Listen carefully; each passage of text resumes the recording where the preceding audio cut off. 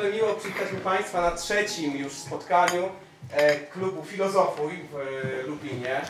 Dzisiejsze spotkanie poświęcone jest tematowi uchodźców i multikulturalizmu. Jego zarzewiem jest ten oto numer czasopisma, który ukazał się e, mniej więcej pod koniec lutego, w którym autorzy polscy i zagraniczni podejmują temat, myślę, stosunkowo bliski aktualnym wydarzeniom w Europie, znaczy temat uchodźstwa, migracji, e, właśnie od strony filozoficznej, etycznej, dokonują namysłu nad tymi zjawiskami, e, które właściwie każdego dnia em, możemy obserwować w, między innymi w, chociażby w telewizji czy w prasie.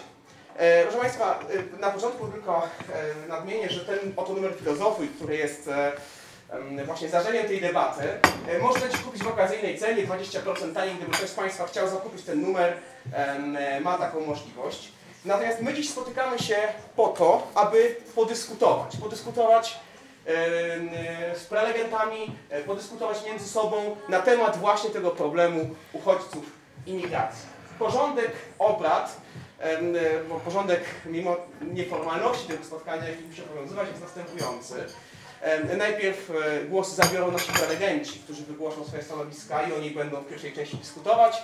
W drugiej części do głosu dopuścimy Państwa, liczymy na dyskusję, pytania, podnoszenie własnych wątpliwości, zajmowanie swojego punktu widzenia. A dziś z nami jako prelegenci są pan e, ksiądz profesor Andrzej Szostek z Katolickiego Uniwersytetu Lubelskiego. Bardzo prosimy brawa dla prelegentów. Bardzo dziękuję. Ksiądz profesor jest kierownikiem katedry, Był. e, tak, byłem kierownikiem katedry etyki e, na, na Wydziale Filozofii Katolickiego Uniwersytetu Lubelskiego. Jego e, twórczość naukowa poświęcona jest zagadnieniu szeroko pojętej etyki ogólnej, szczegółowej, zwłaszcza myśli Karola Wojtyły, Jana Pawła II i personalizmu. Jest z nami również profesor Leszek Kopciuch z UMCS-u.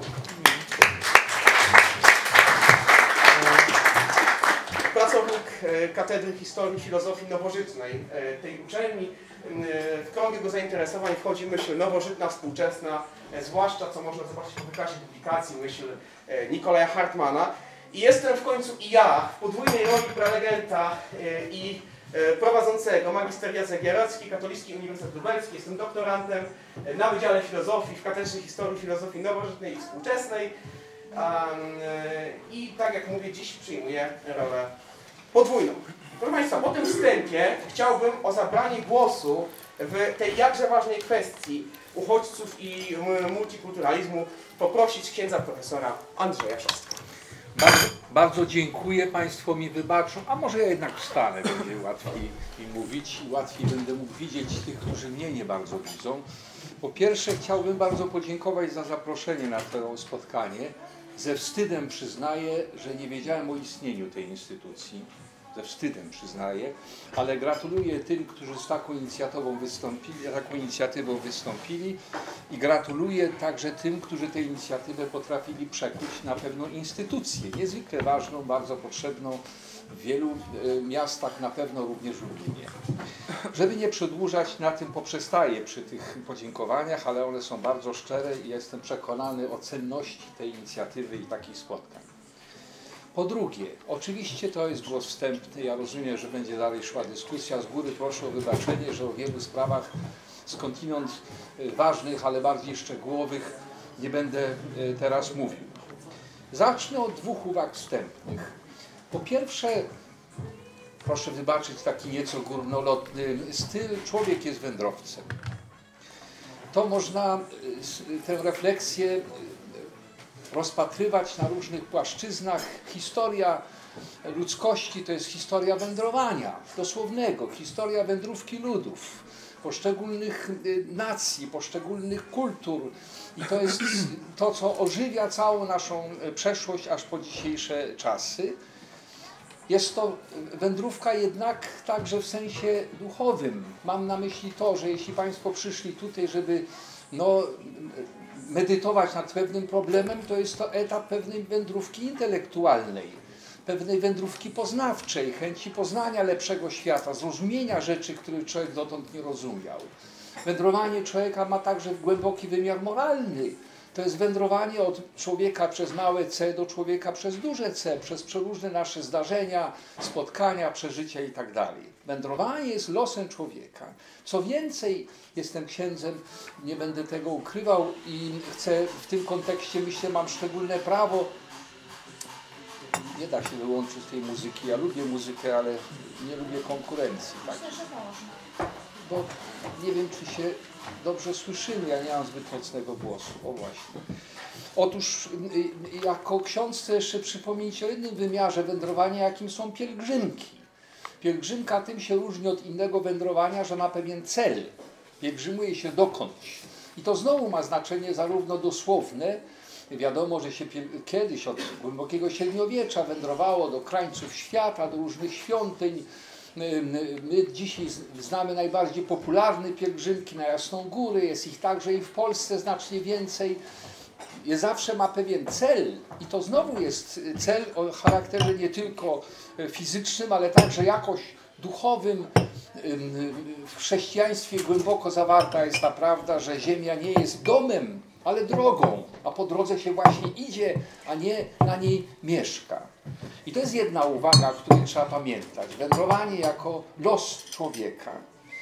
Po drugie, migracja, wędrowanie oznacza jednocześnie rzecz jasna spotykanie się. To jest właśnie ten kontekst multikulturowy z różnymi innymi ludźmi.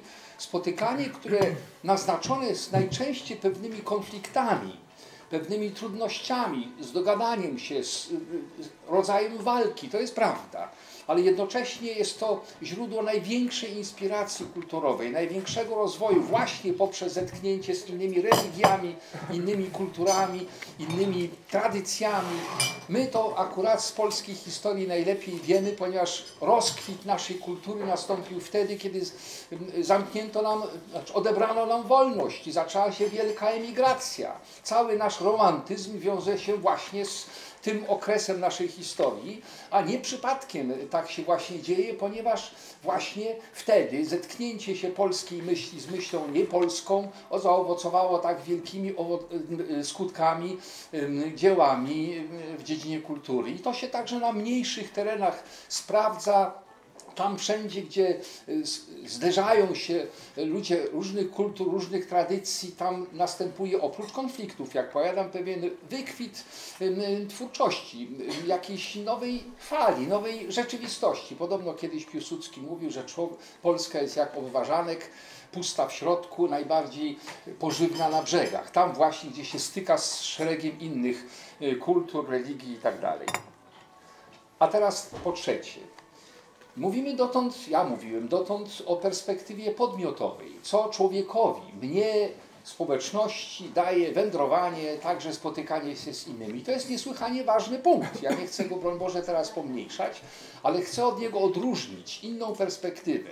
Mianowicie tego rodzaju spotkań, które wynikają nie z mojej potrzeby dojrzewania, pielgrzymowania, osiągania jakiejś pełni człowieczeństwa, ale z potrzeby tych, którzy znaleźli się w wielkim y, kłopocie, wielkiej trudności.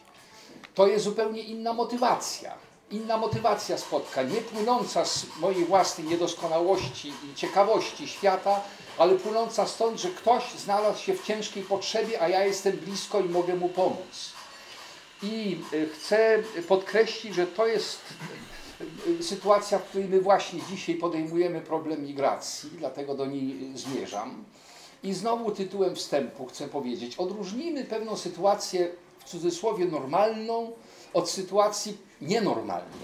Sytuacja normalna to jest taka, w której jest zasadniczo jaka taka dobra kondycja, pokój i oczywiście nasza troska, nasze myślenie no, odnosi się przede wszystkim do najbliższych. Ojciec i matka dbają o swoje dzieci, my przede wszystkim pilnujemy rozwoju naszej narodowej kultury. To jest wszystko zrozumiałe i byłoby dziwne, gdyby było inaczej.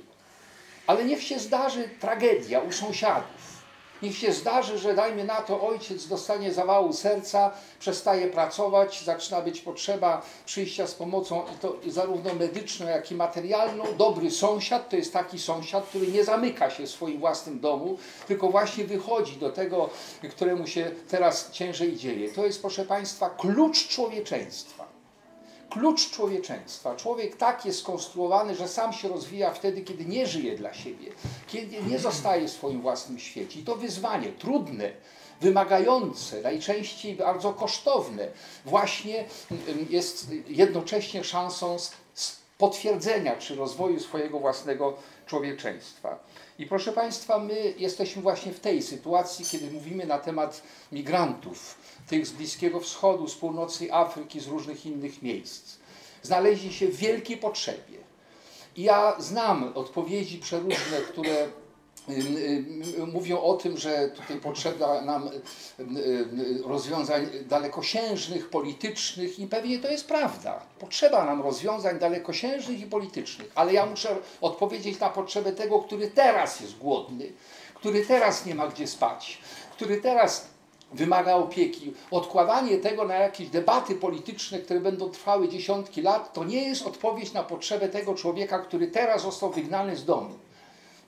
Muszę powiedzieć z przykrością, że wedle wielu danych, które jakoś y, miałem okazję poznać, y, my, Polacy i chrześcijanie w Polsce, y, mówiąc najłagodniej, bardzo kiepsko zdajemy egzamin z naszego chrześcijaństwa. Może nawet nie bardzo kiepsko, tylko po prostu go nie zdajemy. Nie tak dawno była debata w Gdańsku, która była relacjonowana przez TVN24, całą ją oglądałem. Na samym wstępie pytanie wyjściowe brzmiało, co zrobić z tymi statkami, z uchodźcami, które przybywają do naszego kraju.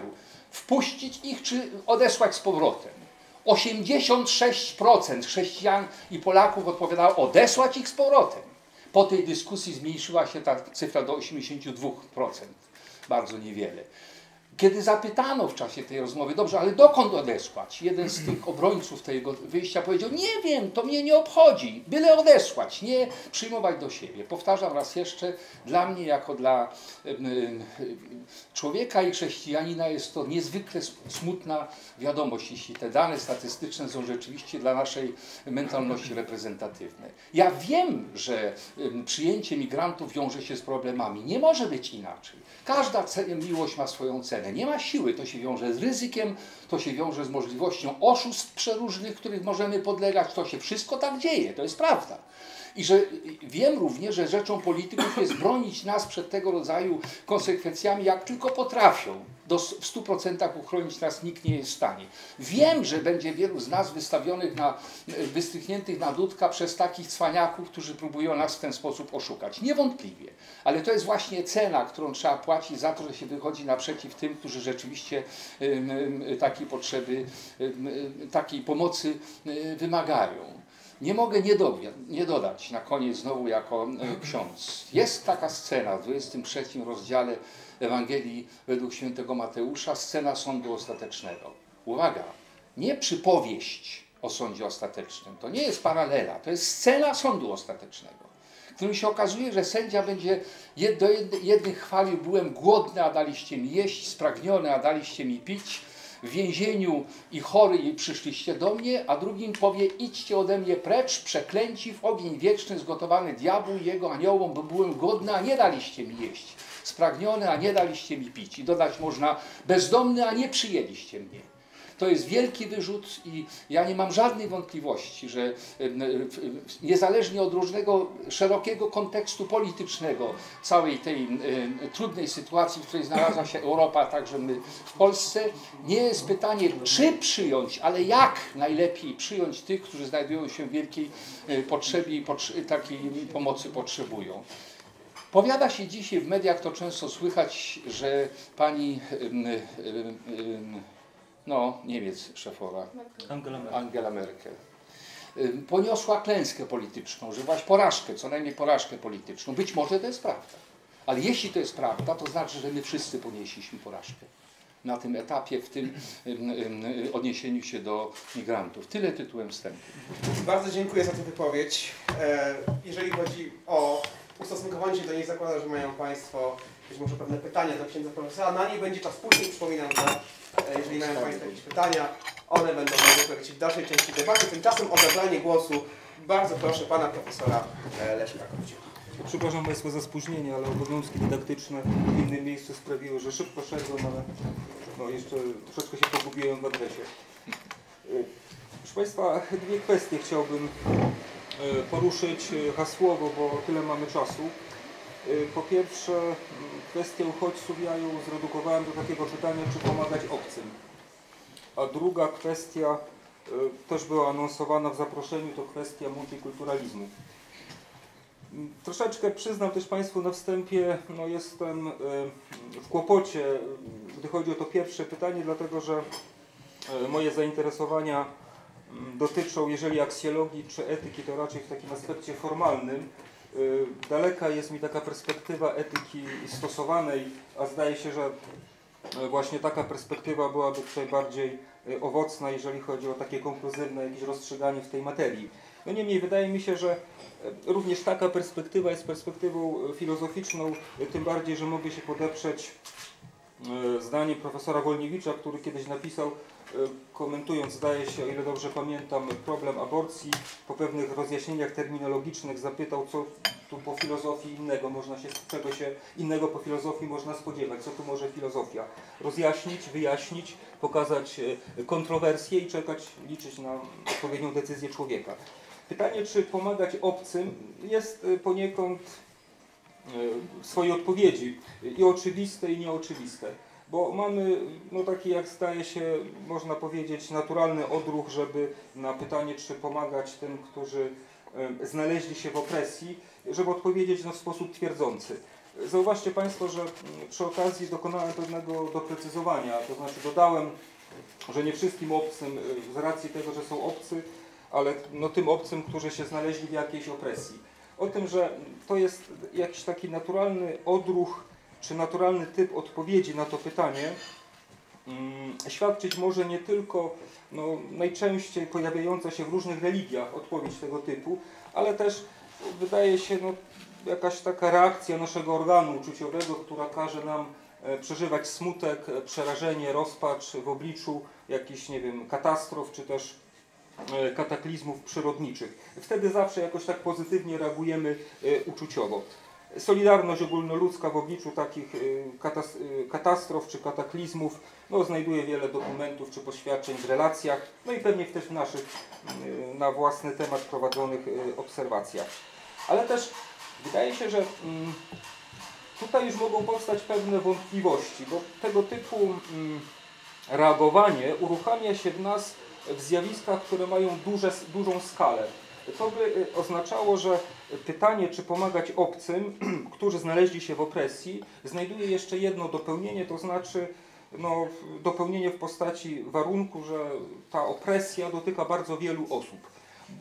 W gruncie rzeczy, z moralnego punktu widzenia, jak sądzę, nie ma e, kłopotów, czy nie będzie jakichś zasadniczych kłopotów z odpowiedzią na pytanie, czy pomagać sąsiadowi, który znalazł się w opresji. Natomiast zaczynają się pojawiać, jak sądzę, już kłopoty, e, gdy tych sąsiadów przysłowiowych będzie 100 tysięcy, 200 tysięcy, czy też e, milion.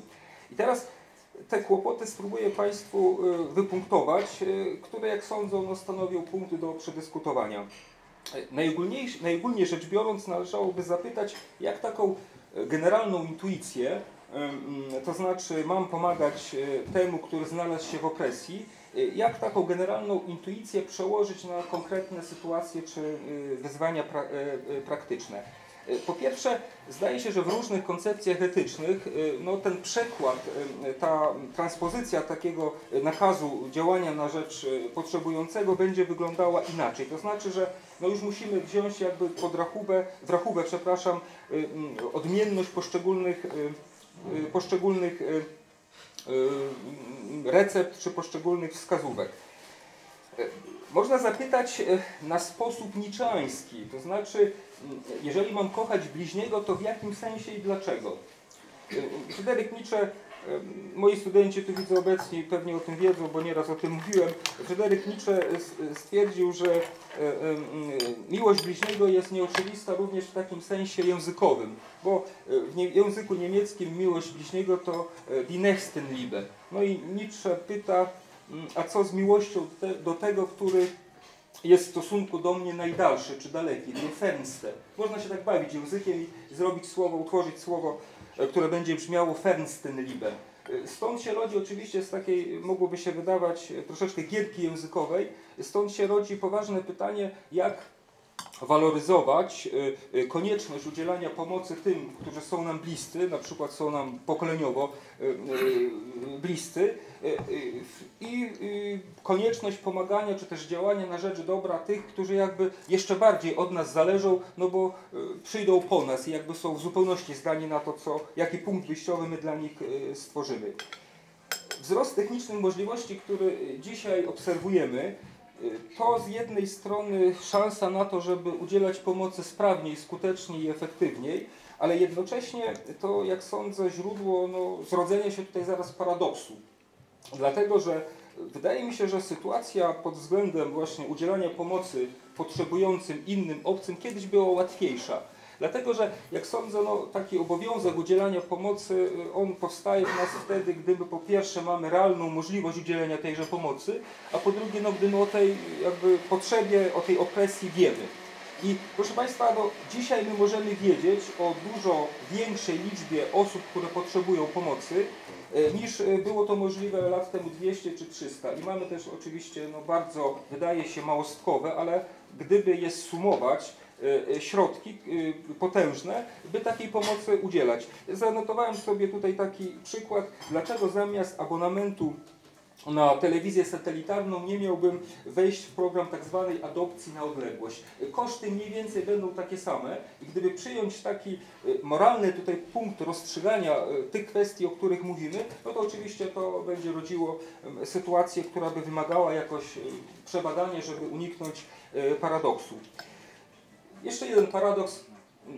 Jeżeli mam pomagać i, i powinienem pomagać temu, który znalazł się w opresji, który mm, zależy od e, e, moich możliwości, ja takimi możliwościami dysponuję, to oczywiście nikt nie będzie e, ode mnie wymagał, żebym pomagał bezgranicznie. To znaczy, zwykle będą się pojawiały rozwiązania, które będą mówiły, że jest pewna granica, powyżej której gdy dysponuję odpowiednimi środkami, powinienem e, no, takiej pomocy e, udzielać. I teraz e, pytanie, czy istnieje jakaś taka jednoznacznie dająca się określić granica, powyżej której my powinniśmy rezygnować z działania na rzecz własny, a, prezent, a przekierowywać te środki na rzecz osób innych. Peter Singer formułował mniej więcej taki argument mm, w tym kontekście, że mówił, że jeżeli mam pomagać temu, który jest biedniejszy ode mnie, to e, de facto taki proces e, e, zasadnej pomocy będzie się kończył wtedy, gdy ja zrównam się, jeżeli chodzi o poziom mojego życia z poziomem tego beneficjenta mojej, mojej pomocy. Oczywiście można by takiego problemu uniknąć w ten sposób, że się odróżni dobra zbędne i niezbędne. I wtedy mielibyśmy, jakby zdaje się, taką klarowną sytuację, która mówi, że e, no, jeżeli mam e, e, e, być postawiony przed obowiązkiem udzielania pomocy, to nikt nie może mi odbierać tych środków, które są traktowane jako niezbędne. Ale przecież kategoria tego, co zbędne i niezbędne, nie jest statycznie, nie jest w sposób stały określona. Ja bym bronił raczej takiego poglądu, że kategoria tego, co zbędne do życia i co dla życia niezbędne jest uwarunkowana historycznie i kulturowo. A w związku z tym y, można, y, zdaje się, y, argumentować, że uznanie przez kogoś jako tego kryterium różnicującego zbędności bądź niezbędności naszych potrzeb czy naszych pragnień także może być kwestionowana i może prowadzić do bardzo różnych bardzo różnych konsekwencji. Ortega y Gasset mówił, że człowiek wcale nie chce bytu, tylko że człowiek chce dobrobytu. A dobrobyt to nie to, co się potocznie by przez ten termin rozumiało, tylko byt dobry, taki, który ten człowiek uważa za cenny. Jeżeli my dołączymy do tego wielość ludzkich jakby y, aksjologicznych preferencji czy poglądów, to chyba staje się jasne, że te rozumienia tego dobrobytu no mogą wypadać bardzo, bardzo różnie. Ponieważ tutaj Pan patrzy na mnie e, e, e, znacząco, a anonsowałem jeszcze tylko jedną, jeszcze jedną kwestię, to znaczy tę kwestię multikulturalizmu. Ja tylko gwoli takiego e, powiedzmy terminolo- terminologicznego wprowadzenia powiem, że pytanie o multikulturalizm wypada najpierw, wy- wymaga najpierw określenia, o jakim sensie my słowa tego chcemy mówić. I wynotowałem sobie po pierwsze, multikulturalizm to jest pewien stan faktyczny. To znaczy y, pewien y, układ relacji y, pomiędzy różnymi podmiotami, a tymi podmiotami są cywilizacje czy kultury, tak jak to wielkie teorie historiozoficzne mówiły. Y, Po drugie, można byłoby wyróżnić multikulturalizm, ale już na mniejszą skalę, to znaczy y, pomyśleć ten multikulturalizm jako coś, co się nazywa chyba interkulturalizmem. To znaczy pomyśleć kultury nie jako pewne bańki, nie jako pewne odrębne całości, ale jako takie struktury, które są przeniknięte już różnymi, różnego pochodzenia elementami mm, y, kulturowymi. I po trzecie, należałoby odróżnić multikulturalizm nie jako e, teorię opisującą pewien stan faktyczny, tylko jako pewien e, program działania politycznego, praktycznego, mówiąc szerzej, który ma na celu wypracowanie jakichś bezkonfliktowych ram dla współistnienia tych różnorodnych elementów. Wszystko jedno, czy w obrębie kultury, czy w obrębie, e, e, e, czy na poziomie relacji pomiędzy różnymi, różnymi podmiotami. E, Co stąd wynika dla tego pytania, czy multikulturalizm jest e, e, postawą, którą trzeba cenić, czy którą trzeba jakoś e, kwestionować, to może w dyskusji spróbujemy powiedzieć, nie chcę już zabierać czasu. Dziękuję. Bardzo dziękuję za tę wypowiedź, zwłaszcza też za, za, dyscyplinę czasową, jako że chcemy, Państwo mieli jak najwię- na, na, największą możliwość wyrażenia swojego zdania. Proszę Państwa, ja jestem trzecim prelegentem, który będzie miał, sądzę, odmienne zdanie od reszty e, naszych mówców. Znaczy, ja będę chciał zadać pytanie, e, czy otwarcie granic przed migrantami jest naszym moralnym obowiązkiem? I moja odpowiedź na to jest przecząca.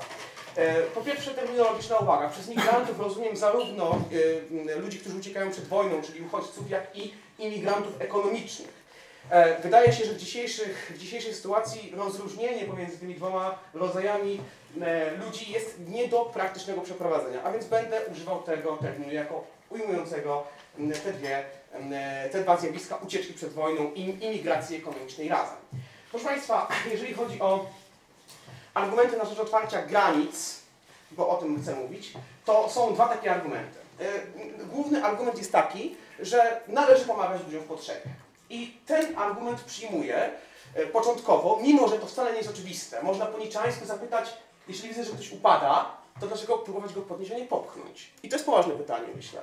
E, Ale zakładam, że jesteśmy e, wśród ludzi, którzy jednak mają pewne przekonania etyczne, które brzmią, należy pomagać ludziom w potrzebie.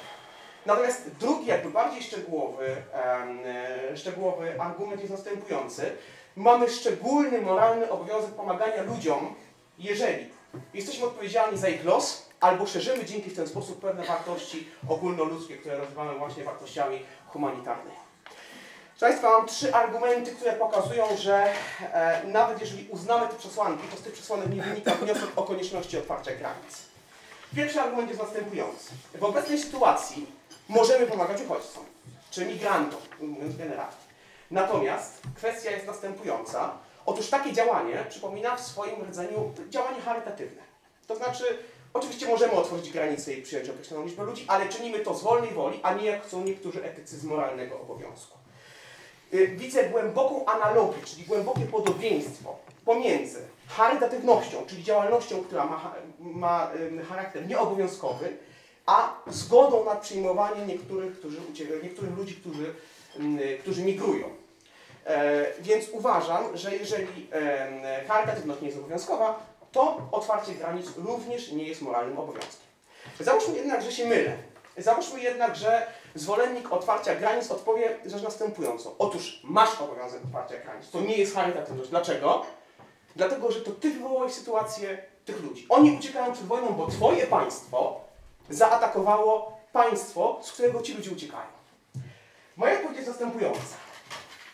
Czy istotnie my, jako obywatele państwa, możemy ponosić odpowiedzialność za to, że e, bardzo ograniczona grupa e, rządzących zdecydowała się na wywołanie konfliktu zbrojnego, zwłaszcza, że tak naprawdę konflikt ten jest właściwie generowany tylko przez państwa, które mają odpowiednią siłę militarną i finansową, żeby ten konflikt prowadzić. Czy my, ludzie, którzy będziemy się borykać z trudnościami dnia codziennego i z kosztami po otwarciu granic, możemy być obarczeni odpowiedzialnością za coś, na co praktycznie nie mamy wpływu. Takie jest moje pytanie i sądzę, że e, mówienie o odpowiedzialności, które tak często pojawia się w kontekście debaty mówienie o naszej odpowiedzialności, jest niezrozumieniem, czym jest nasza odpowiedzialność i jest pewnego rodzaju, nie zawaham się użyć tego słowa, mimo że nie użyłem go ani razu w tekście, szantażem moralnym ze strony tych, którzy taki argument wysuwają. No dobrze, a co w takim razie z krzewieniem wartości ogólnoludzkich, wartości humanitarnych? Czy nie mamy obowiązku pomagać ludziom po to, aby po prostu szerzyć te wartości, które są dla nas cenne? Otóż uważam, że być może taki obowiązek istotnie jest. Być może powinniśmy zrzec się, o czym Pan Profesor mówił, części naszych dóbr, żeby pomóc innym ludziom. Taki gest jest bez wątpienia nie, nie tylko chwalebny, ale być może również jest moralnym naszym obowiązkiem. Zgódźmy się na to. E, mamy zatem, stoimy przed dwoma wyborami. Możemy albo zrzec się na przykład określonych dóbr, aby e, uratować czyjeś życie, czy poprawić komfort e, tego życia.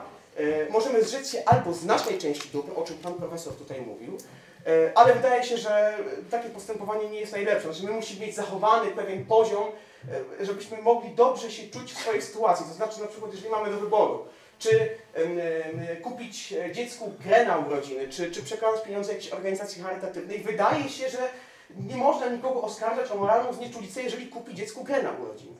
A więc jedynym sposobem pomocy humanitarnej może być na przykład częściowe oddawanie swoich dochodów. Na to się zgadzam, być może jest to nasz moralny obowiązek. Natomiast moje pytanie jest następujące. Jeżeli mamy moralny obowiązek, na przykład poświęcania części swoich dochodów na pomoc innym, to dlaczego mają to być migranci? Przecież jest tyle ludzi w Afryce, którzy umierają z powodu braku wody, z powodu braku szczepionek, znajdują się w o wiele gorszej sytuacji, a środki mamy ograniczone. A więc musimy dokonać pewnej dywersyfikacji tych środków i wydaje się, że w obecnej sytuacji e, przekazywanie znacznych kwot na pomoc socjalną dla migrantów o ponoszeniu olbrzymich kosztów związanych z relokacją tych migrantów jest zdecydowanie działalnością, która nie jest racjonalna z naszego punktu widzenia. Uznajmy jednak, że ponownie się mylę. Załóżmy, że przesadzam, że przyjmuję pogląd albo albo. Albo uchodźcy, albo ludzie, którzy umierają z braku wody. Załóżmy, że możemy oczywiście pomóc ludziom, którzy nie mają dostępu do pitnej wody i przekazać im część dochodów, ale na uchodźców też należy przekazać odpowiednie środki. Być może tak istotnie jest. Należy się jednak zastanowić, po pierwsze, czy rzeczywiście mamy możliwość nieograniczonego pomagania wszystkim dookoła i jak ich dzielić, bo to jest pytanie bardzo praktyczne. A po drugie, ostatnie moje pytanie, które pozostaje bez odpowiedzi, brzmi, czy z tych wszystkich argumentów, które podałem, które są argumentami, które pojawiają się w literaturze, istotnie wynika, że mamy otworzyć granice? Wydaje się, że nie. Być może musimy pomagać, ale czemu przez otwarcie granic? Nie mamy żadnego moralnego obowiązku otwierania granic przed uchodźcami, a w związku z tym autorzy, którzy piszą o tym, że taki obowiązek istnieje, starają się wywrzeć dla nas pewien e, no, całkiem spory nacisk, skierować nas w stronę poglądu, e, bazując na naszym przekonaniu, że ludziom należy pomagać. Należy. Pytanie, komu i jak? Zastanów, zastanówmy się jeszcze przez sekundę, czy istnieją pozamoralne racje, aby nie otwierać granic. Otóż wydaje mi się, że takie pozamoralne racje istnieją. To znaczy nie tylko nie mamy obowiązku otwierać granic przed migrantami. Wydaje się, że jest to również wysoce niewskazane. Dlaczego? Po pierwsze, niewielu ludzi zwraca uwagę, że e, jedność kulturowa, oczywiście nie absolutna, ksiądz profesor ma absolutną rację, że często jedność kulturowa nie jest czynnikiem rozwoju. Natomiast wydaje się, że jedność kulturowa stoi u podstaw pewnej solidarności narodowej, która pozwala społeczeństwu w sposób dobry prosperować. Mamy pojęcie solidarności, mamy pojęcie wspólnoty. Dzięki temu nasze społeczeństwo może się rozwijać w taki sposób, e, aby przynosiło korzyść wszystkim jego członkom, którzy czują ze sobą pewną więź. To jest pierwsza kwestia. Druga kwestia jest następująca. Na pewno wielu z Państwa będzie zastanawiało się nad kwestią bezpieczeństwa. Faktów nie trzeba przytaczać. Jakie są fakty, każdy doskonale wie. Mnie chodzi o inny rodzaj bezpieczeństwa. Mnie chodzi o bezpieczeństwo polityczne. Otóż w bezpieczeństwie politycznym chodzi o to, że jeżeli spojrzą Państwo na statystyki na przykład urodzeń w krajach zachodnich, to na przykład na, przy dzietności 1,6 tubylców dzietność ludności na połowę to jest 4,9. E, może sobie łatwo wyobrazić scenariusz, że za 30 czy 50 lat Europa zmieni całkowicie swoje oblicze i zmieni je nie w kierunku demokracji, ale w kierunku poglądów, które mogą być na przykład motywowane, motywowane religijnie, bo nie ukrywajmy, że znaczna część migrantów przybywa tu z pewną określoną wizją rzeczywistości i te wizje ze sobą zachowuje. Oni jej nie porzucają. Oni wedle niej żyją i oni wedle niej będą zmieniać ten świat. Nie ma co do tego żadnej wątpliwości. I wreszcie ostatnia kwestia pozostaje następująca. Czy istotnie możemy ponosić ryzyko otwierania drzwi przed każdym? Czy nie ma innych sposobów pomocy? Budowanie obozów dla uchodźców, zbiórki pieniędzy, wysyłanie towarów, tak jak to się dzieje w innych sytuacjach, gdzie wymagana jest ludzka solidarność, trzęsienia ziemi czy katastrofy naturalne. Dlaczego mamy w tej sytuacji tylko jedno wyjście, mianowicie otwierać granice? Otóż uważam, że są inne wyjścia i to te inne wyjścia powinny być przedmiotem mojego namysłu. Szanowni Państwo, na zakończenie chciałbym podkreślić jedną rzecz. Moje wystąpienie ma charakter dość mocny, bo ten tekst, który napisałem w filozofii jest mocny. W rzeczywistości nie uważam, byśmy musieli e, poruszać się w kontekście aż takich skrajności. Wydaje mi się, że potrzeba nam spokojnej, rzeczowej debaty, która pozwoli nam odpowiedzieć na podstawowe pytania. Komu pomóc? W jaki sposób pomóc? Jak dalece ta pomoc ma iść, abyśmy my mogli zachować swoją tożsamość, swoje bezpieczeństwo, a zarazem, aby wy, wy, wywiązać się z moralnego obowiązku pomocy innym, którego, jak powiedziałem na wstępie, nie mam zamiaru podważać. Dziękuję.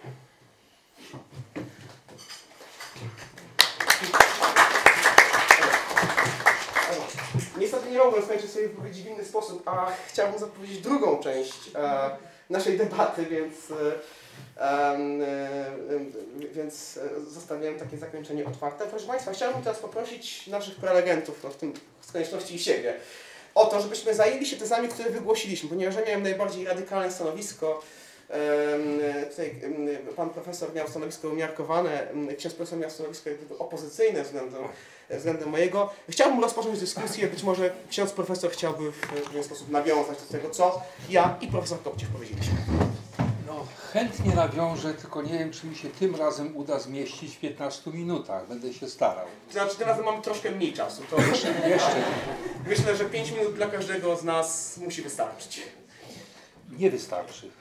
To znaczy, to zależy, możemy się zdecydować. Wystarczy 5 minut na niewystarczającą odpowiedź. Ja chcę najpierw krótko nawiązać. Państwo rozumieją sami, że pytanie jest zawsze krótkie, a odpowiedź jest dłuższa. No wszyscy to wiemy. Ja pamiętam tydzień filozoficzny, na którym jeden ktoś wyszedł i pytał, proszę mi udowodnić, że Pan Bóg istnieje. I nagle położył całą dyskusję na ten temat. Na odpowiedź dano mu 5 minut. Otóż y, w związku z głosem pana profesora y, interesujące są te dwa rozróżnienia, które pan wspomniał. Jedno to jest dotyczące statystyki. Mianowicie co innego, kiedy mam pomóc sąsiadowi, a kiedy, co innego, kiedy się zjawia 100 tysięcy, 200 czy więcej. Ja chcę przypomnieć ogólnie obowiązujące nas wszystkich zasady, że y, nikt nie jest zobowiązany do rzeczy, y, która jest ponad jego siły. Jeśli ja mogę pomóc z tych 100 tysięcy pięciu ludziom, to powinienem pomóc pięciu. I nie płakać z tego powodu, że 95 955 zostanie bez pomocy. Ja mam dać odpowiedź taką, na jaką mnie stać. I dlatego nie chciałbym, żeby z kolei ta statystyka niejako zneutralizowała całkowicie moją pomoc. Inaczej mówiąc, jak jest jeden sąsiad, to wiem, że powinienem. A jak jest 100 tysięcy, a to w ogóle daj sobie spokój, nie myśl o tym. Niebezpieczna tendencja. I drugie rozróżnienie to jest ten bliski i daleki.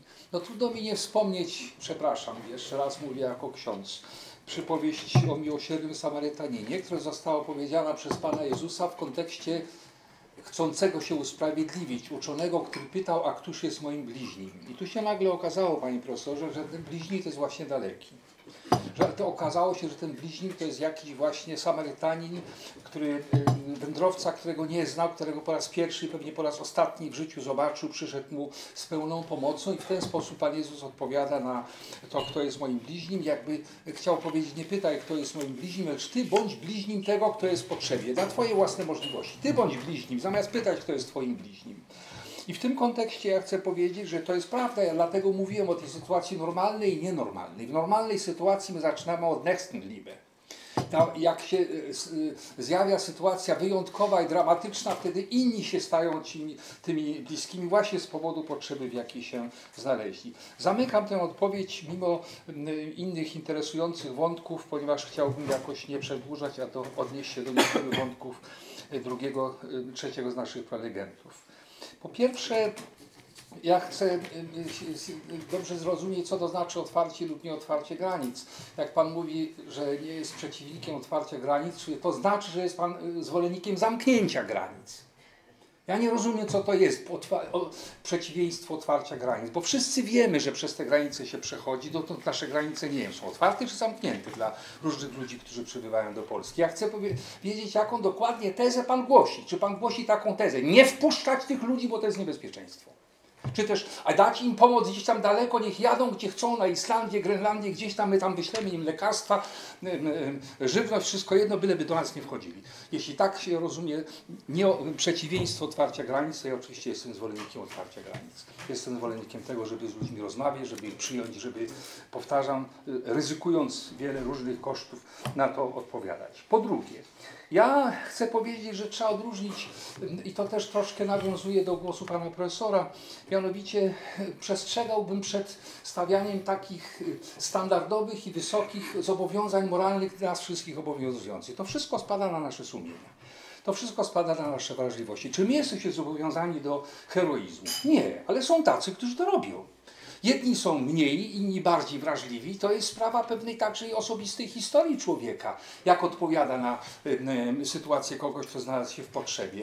Znamy takich, którzy odpowiadali ponadstandardowo. Jak my mówimy, że święta Teresa z Kalkuty, to właśnie dlatego, że ona nie mogła wytrzymać, nie mogła spać, widząc tych umierających ludzi. Wszystkie inne siostry były w tej samej Kalkucie, też dobre rzeczy robiły i mogły spać, a ona nie mogła. Jest to osobista historia człowieka, który wzrasta także w swojej wrażliwości, ale oby wzrastał. Ja wracam do tej wędrówki, o której mówiłem na samym początku. Więc nie, nie, nie róbmy wymogów dla wszystkich dokładnie tak samo obowiązujących i nie róbmy y, jakichś powiedzmy pewnej prymitywnej zasady, y, która głosi, że skoro ilu, tyle ludzi jest głodujących, to ja nie powinienem kupować zabawki y, dla swojego dziecka. Tak się nie da dyskutować. To jest sprawa właśnie roz, rozeznania w moim własnym sercu, w moim własnym przekonaniu, co jest w tej sytuacji moim obowiązkiem. Ale co innego jest istotne. Mianowicie odróżnijmy, Pan mówi o, tym, o tych, którzy są znacznie biedniejsi w Afryce. Rzeczywiście są, to jest prawda. Tylko jak mi ktoś mówi, przyjeżdżają ci migranci, którzy uciekają przed śmiercią, których wy, wy, wysiedlono, którzy nie mają gdzie mieszkać, a ja odpowiadam, a słuchaj, jeszcze biedniejsi są w Afryce. To jest to taka sytuacja, jak ja poszedł do dentysty, bo mnie boli ząb, a dentysta mówi, proszę pana, pan ma chorą wątrobę, tą, tą trzeba się zająć. Zamiast leczyć mój ząb, będzie mnie odsyłał do lekarza, który zajmuje moją wątrobą. I Odróżnijmy sytuacje stan, niestety trwałych, bolesnych problemów światowych, na które trzeba nam szukać odpowiedzi, które, wobec których nie wolno nam być od, obojętnymi, od sytuacji nagłej, od sytuacji takiego oto y, zda, zdarzenia, że ktoś puka do moich drzwi. Jak puka do moich drzwi, to ja nie powiem, kochany, ty pukasz, a ty nie wiesz, ilu jest innych, którzy nie pukają, są jeszcze w gorszej sytuacji od ciebie. Też oszustwo. Tak się myśleć nie da. Ja pamiętam z tej dyskusji w Gdańsku, o której wspomniałem, teraz proszę mi przypomnieć, ja zapomniałem nazwiska szefa naszej prawicy skrajnej. Korwin-Mikke. Nie, katolicki głęboko. Nasz dawny pre, ten, słucham? Marek Jurek, dziękuję. Tak jest. Marek Jurek na pytanie dotyczące tej całej sprawy migracji mówi, Polakom trzeba pomóc, którzy są daleko za granicą. To jest tak właśnie jak z tym zębami i z wątrobą. Pewnie trzeba pomóc Polakom, ale teraz przyjeżdżają do, do nas ci, którzy potrzebują tego rodzaju potrzeby, wymagają tego rodzaju potrzeby. Stąd i wreszcie to ostatnia sprawa, to zagrożenie, że będzie Europa się, będzie się zmieniać. Będzie się zmieniać. Oni są dla nas wyrzutem. Jeśli się mówi o tym, że oni mają tyle dzieci, a my nie, to świadczy o tym, jaka jest ich żarliwość i, i siła biologiczna, jaka nasza. Ja, się, ja wcale nie, nie, nie, nie, nie, nie kwestionuję tego, że kiedyś będzie sprawa i wcale nie jestem pewien, czy to będzie kraj demokratyczny. To troszkę zależy od nas i od naszego sposobu przyjęcia tamtych ludzi. Natomiast na koniec powiem tak, że ta. Ojej, coś mi uciekło. Że generalnie biorąc ta ym, postawa, ja, ja nie, nie przepadam za byciem prorokiem e, przyszłości, bo to jest sprawa dosyć ryzykowna, ale wyzwaniem, jakie ci migranci stanowią dla nas, tak jest. To jest wyzwanie także dla mojej własnej tożsamości. Ja mam ciągle wrażenie, że jak ja się boję i zamykam przed ludźmi, którzy mają inne religie, inne kultury, to znaczy, że ja jestem pewien swojej że ja właściwie nie bardzo wierzę, że ja mam cokolwiek do zaprezentowania, bo muszę to chronić przed jakimikolwiek innymi mi- migracjami. Raz jeszcze chcę podkreślić, niewątpliwie to jest wielkie wyzwanie, a już wiem co chciałem powiedzieć, polityczne, wielkie wyzwanie polityczne, które nie, nie da się zamknąć w ciągu jednomiesięcznej czy nawet pewnie rocznej dyskusji. Natomiast Boże drogo, o czym my mówimy, my w Polsce? Policzmy sobie, ile się przyjęli, ilu się już u nas zdarzyło przyjąć Czeczeńców i co nam się stało? Straciliśmy naszą tożsamość, tak? Nagle zapomnieliśmy, kto to jest, co to znaczy być Polakiem, katolikiem, kim jeszcze. Mówimy o, o, o puli Boże, paru tysięcy, które mają być przyjęte przez dwa lata. Zobaczmy, ile tych migrantów musi uciekać do innych krajów, gdzie są dziennie się tyle prze, przenosi na inną granicę ludzi. Więc my po prostu obawiam się, ulegamy pewnej mentalności ksenofobicznej, która jest zgubna dla nas i która na pewno nie najlepiej świadczy o naszym człowieczeństwie i chrześcijaństwie. Bardzo dziękuję. E, bardzo proszę, żeby teraz pan profesor odniósł się do e, naszej dyskusji. Muszę powiedzieć, że e, z, ze słowami księdza profesora, tymi wypowiedzianymi w, w pierwszym zasadniczym Tak. wystąpieniu, ja się ja w całości zgadzam. Zgadzam się dlatego, że powiedziałem, że no, ten nakaz pomagania temu, który jest w opresji, jest no, oczywisty. W, w tym sensie oczywisty, że on jest jakby elementem e, e, różnych moralności, również tych fundowanych religijnie, jest też elementem no, naszego takiego naturalnego, emocjonalnego reagowania na sytuację, gdy jakaś taka opresja mm, się pojawiła. Kłopoty, o których ja mówię, mm, dotyczą naszego jakby teoretycznego mówienia o tym. I y, po- kłopoty, o których mówię, mają pokazać, że traktowanie o tych e, e, zagadnieniach no, przy pomocy takiego e, nakazu, że mamy pomagać, bo akurat oni do nas e, pukają w tej chwili, e, że, że tego typu mówienie jest niewystarczające. Ja bym się nie zgodził z tym argumentem, który ksiądz używa, e, e, ksiądz profesor używa, gdy mówi, że, e, e, że e, Polacy, którzy gdzieś tam za granicą się znajdują, też wymagają pomocy, ale że ci akurat w tej chwili pukają. Ja sobie tak pomyślałem e, i że, że im powinniśmy. Ja sobie pomyślałem, że przecież E, Co jakiś czas też w telewizji był, był, był e, apel o pomoc dla dziecka, które wymaga pilnej operacji za granicą. Tam kwota była dużo mniejsza, bo było chyba 300 tysięcy. Ale gdyby tak to sumować, to przecież to są osoby, które równie aktualnie wymagają pomocy jak ci właśnie e, imigranci. W związku z tym ja nie chcę przez to mówić, że my nie powinniśmy imigrantom pomagać. Ja tylko mówię, że te sytuacje e, e, konfliktowe, one e, muszą być jakoś roz- rozwiązywane w, praktyce, a my jako teoretycy musimy o nich rozmawiać. Nie zgodziłbym się z tym, że, że, że, że e, sprawa z tym e, Nächstenliebe i Fernstenliebe jest, jest, jest e, łatwa do rozstrzygnięcia poprzez e, no właśnie wskazanie, że to mój bliźni. Dlatego, że mm, ja wiem, że ten, który przyjdzie po mnie i ten, który jest e, daleki wobec mnie jest moim bliźnim. Natomiast e, problem w tym, e, co zrobić, jak się zachować, gdy się pojawia konflikt pomiędzy Dwoma jakby bliźnimi. roszczeniami. Dwoma Y, bliźnimi. Dwoma bliźnimi. Y, Właśnie. I teraz y, y, ten, który y, przyjdzie po mnie, może być y, y, konfliktowy no w tych jakby roszczeniach, może nie jest właściwe słowo, które wysuwa. Y, Wysuwa, bo on jako jeszcze nieistniejący nie może wysuwać, ale pomiędzy tym, co ja myślę, że ja powinienem wobec niego zrobić i wobec y, i, i w stosunku do tych y, obowiązków, które odkrywam wobec tych, którzy już są teraz. Być może są takie sytuacje, teorie pokazują takie sytuacje, że nie da się obu tych interesów zaspokoić równocześnie.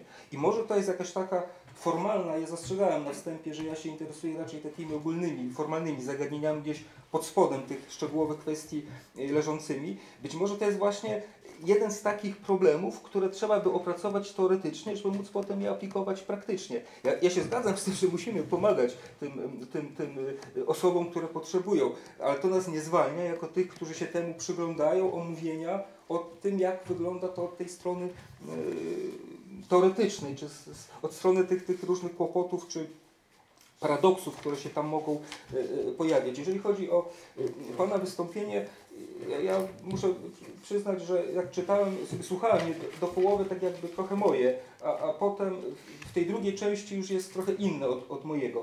Dlatego, że ja podobnie zdaje się jak Pan, będę skłaniał się do tego, że skala tego zjawiska powoduje, że my powinniśmy w duchu jakiejś powiedzmy polityki społecznej szukać y, uzasadnień, rozwiązań, niekoniecznie tylko skupiając się na kwestiach moralnych. Tylko, że ja bym raczej chyba optował w stronę, w stronę takiego rozwiązania, żeby znajdować te inne, mm, pozamoralne, jak Pan to nazwał, y, powody, żeby jednak tej pomocy udzielać.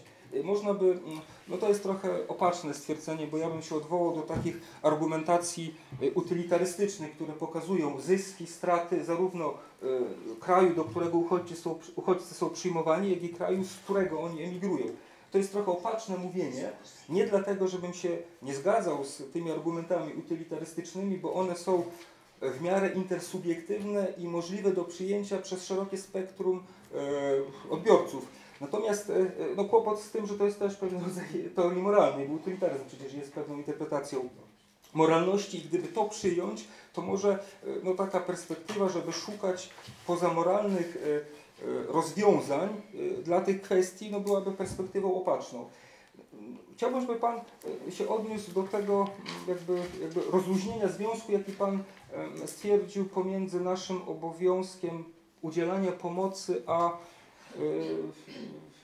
a naszą odpowiedzialnością. Bo Pan użył takiego argumentu, że jako e, obywatele, jako indywidua, my nie ponosimy odpowiedzialności za mm, jakby mm, następstwa działań podejmowanych przez rządy naszych państw. I tutaj wydaje mi się, że są jakby y, y, dwa, mm, dwa, dwa y, tropy przeciwne. To znaczy, po pierwsze, można byłoby y, wątek taki wysunąć. W końcu te rządy są reprezentantami nas. Więc w związku z tym takie odcinanie jakiegokolwiek związku pomiędzy nami a nimi może być od tej strony jakby podważane.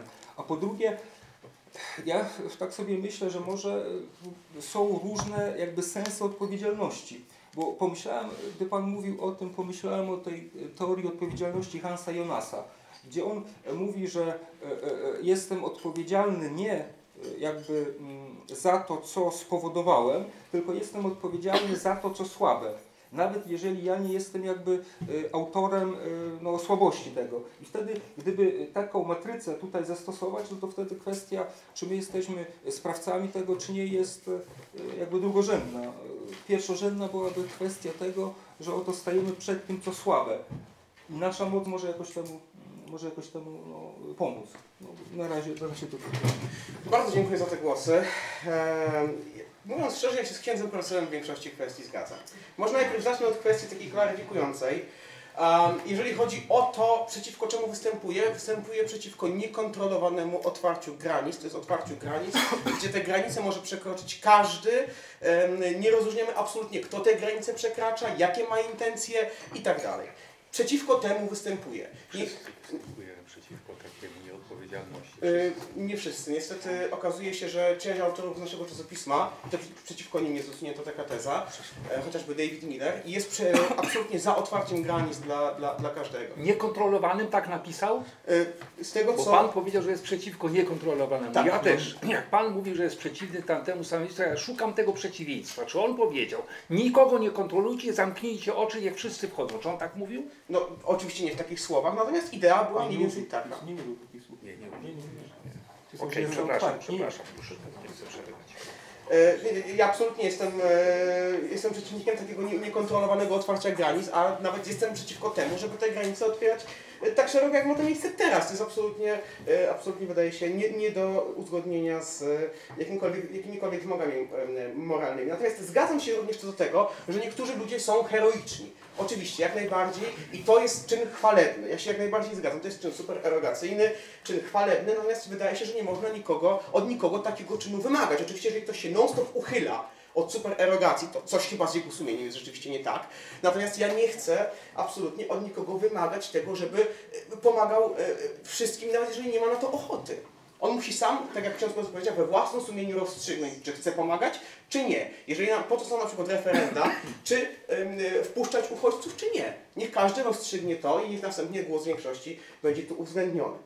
Zgadzam się, że nie należy porównywać e, sytuacji, gdzie kupujemy grę dla dziecka z głodem na świecie. Uważam, że ten argument jest nie w porządku, ale dlatego go osłabiłem. Powiedziałem, że jeżeli nie dopchniemy tego stanowiska egalitarystycznego, czyli nie wyrównamy wszystkich e, korzyści wszystkich ludzi do ściany, to i tak mamy pewną kwotę pieniędzy, którą musimy tak lub inaczej rozdysponować.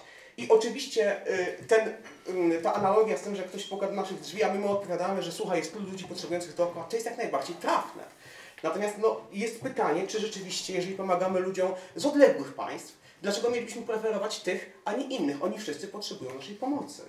A zwłaszcza, że wydaje się, że wpuszczanie imigrantów na teren swojego kraju, zapewnianie im pomocy socjalnej, wszelkich, wszelkich innych rzeczy jest dużo bardziej kosztowne niż bądź pomaganie im na miejscu, bądź pomaganie innym ludziom, em, którzy takiej pomocy potrzebują. Można mówić, że ktoś potrzebujący puka do naszych drzwi. Fala, która wlewa się do Euro Europy, nie wygląda jak ludzie, którzy wyłącznie pukają do naszych drzwi i trzeba to brać pod uwagę. Ksiądz profesor mówi, że oczywiście, że Europa będzie się zmieniać. To chyba na nas spoczywa odpowiedzialność skierowania tego rozwoju, żeby ten rozwój był w miarę możliwości na lepsze. I oczywiście zgadzam się, żeby Europejczycy znaleźli w sobie siłę do tego, żeby ten rozwój Europy był ku lepszemu. Pytanie, czy my jesteśmy to zadanie istotnie podjąć w przypadku taki, takiego nawału obcej etnicznie ludności. Więc to jest pytanie otwarte, czy my po prostu sobie z tym poradzimy.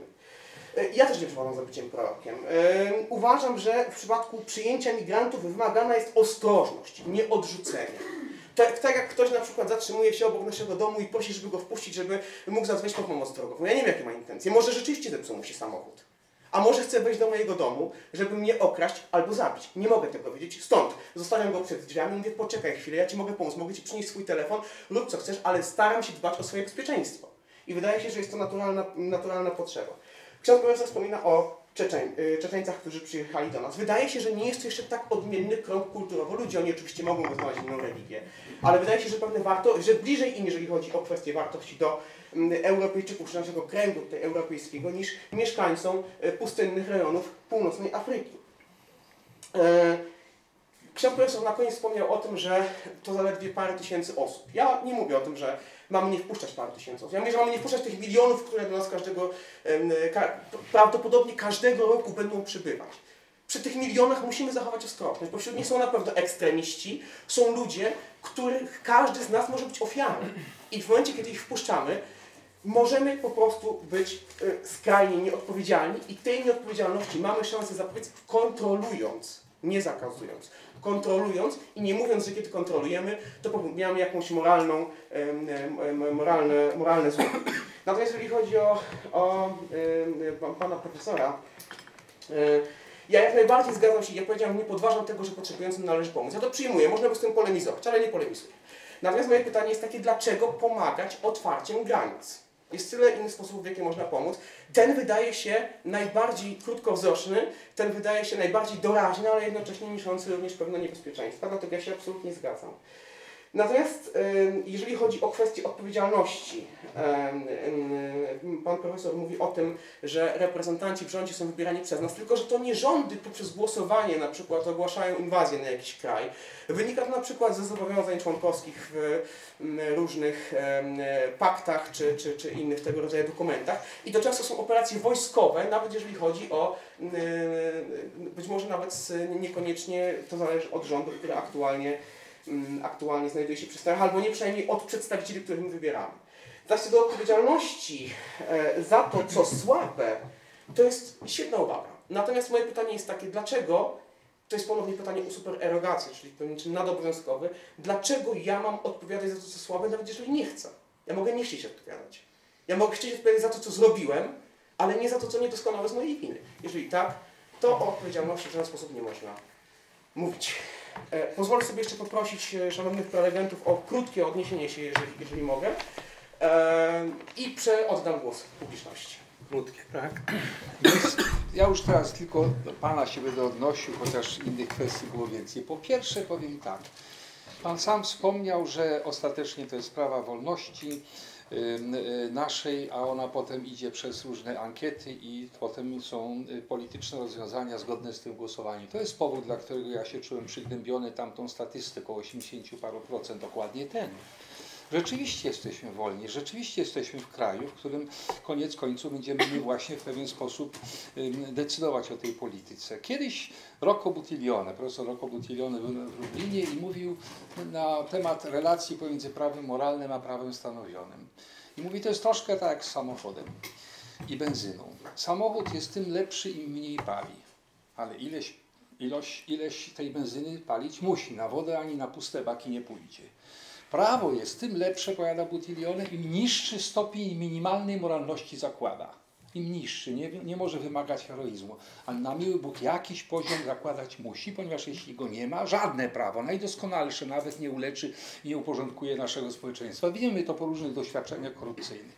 Tu jest podobnie. To prawda, że jesteśmy na różnym poziomie moralnym i na różnym poziomie wrażliwości. Moim zdaniem, przepraszam za ten pesymizm, jesteśmy na bardzo niskim poziomie naszej wrażliwości. I to, I to mnie najbardziej boli. I oczywiście będą potem rozwiązania, takie jak słyszę z ust dzisiejszych przedstawicieli rządu, że cóż tego społeczeństwo oczekuje. I wobec tego takie będą nasze polityczne rozstrzygnięcia. Smuci mnie to i dlatego ja powtarzam, nie mam nic innego do powiedzenia, jak wołanie o to, żeby tę wrażliwość sobie obudzić. Ona nie może mieć jednolitego łatwego charakteru i tych wszystkich komplikacji to się na ten temat zgadzamy, że oczywiście są potrzebne pewne zabezpieczenia, że po to są politycy, żeby nas chronić przed nadużyciami. Tego wszystkiego trzeba bronić. Nie za cenę nie wpuszczania ludzi. I druga rzecz to jest ta supererogacja.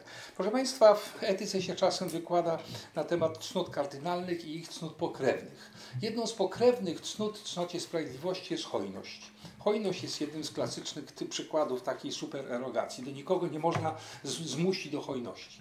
Ale jeżeli człowiek przeżyje całe swoje życie na zasadzie sprawiedliwości i nigdy nie okaże hojności, to jest coś niepokojącego. Te zasady, te fundamentalne e, ramy mają to do siebie, że nas prowokują do ich przekraczania, że nas prowokują do tego, żeby na tym nie poprzestać. Ja się boję takiej trochę legalistycznej postawy, która ostro odróżnia rzeczy, do których jestem zobowiązany i inne, do których nie jestem zobowiązany i koniec. I nie miejmy z tym nic wspólnego. My mamy dynamikę pewnego e, rozwoju moralnego i powtarzam, jeżeli mnie e, sprawiedliwość nie prowokuje do jej przekroczenia, hojność lub miłosierdzie, to są właśnie tego typu przykłady, to jest coś złego z moją sprawiedliwością. Ponieważ sprawiedliwość z natury swojej ma charakter, w cudzysłowie, dorzeczny, w tym sensie, że rzecz łączy dwie osoby, tego, kto jest, kto jest winien i tego, komu jestem winien. Ale to są to spotkanie ludzi. I wobec tego pra- sprawiedliwość wewnętrzną swoją naturą zmierza do tego, żeby coraz ważniejsi byli ludzie, a coraz mniej ważna była rzecz. I to jest właśnie droga do tych cnót, które są nieobowiązkowe, a które niejako są prowokowane przez cnotę sprawiedliwości. Ja no, dlatego o tym mówię, żebyśmy, skoro mamy mówić o pewnych teoretycznych kwestiach, żeby mieć świadomość tego, że to wyzwanie, przed którym teraz stoimy, jest naprawdę wyzwaniem. Dla mojego własnego sumienia, dla mojej własnej wrażliwości, ono nie może poprzestać na rozstrzygnięciach typu dotąd muszę, a odtąd proszę mnie, ode mnie nic nie wymagać. Bardzo dziękuję. Pan profesor chciałby coś Ja tylko może o to słabość, nie? bo tam rzeczywiście wchodzi no, naddatek, supererogacja, natomiast y, można odwrócić kota ogonem, to znaczy Pan powiedział, że my nie jesteśmy odpowiedzialni, bo tego nie spowodowaliśmy, to można powiedzieć, że my jesteśmy za to odpowiedzialni, bo to spowodujemy. To znaczy los tego, co słabe, zależy od nas, zatem ten związek pomiędzy nami a tym także pozostaje, on też jest taki powiedzmy przyczynowo-skutkowy, tyle że działa e, do przodu, a nie jak tamten taki od, od, od, od przeszłości. To, to tylko tyle, to daj głos Państwu czy czas. Bardzo dziękuję. Szanowni Państwo, zakończyliśmy pierwszą część naszego spotkania. Bardzo proszę o brawa dla prelegentów. Pomijcie mnie.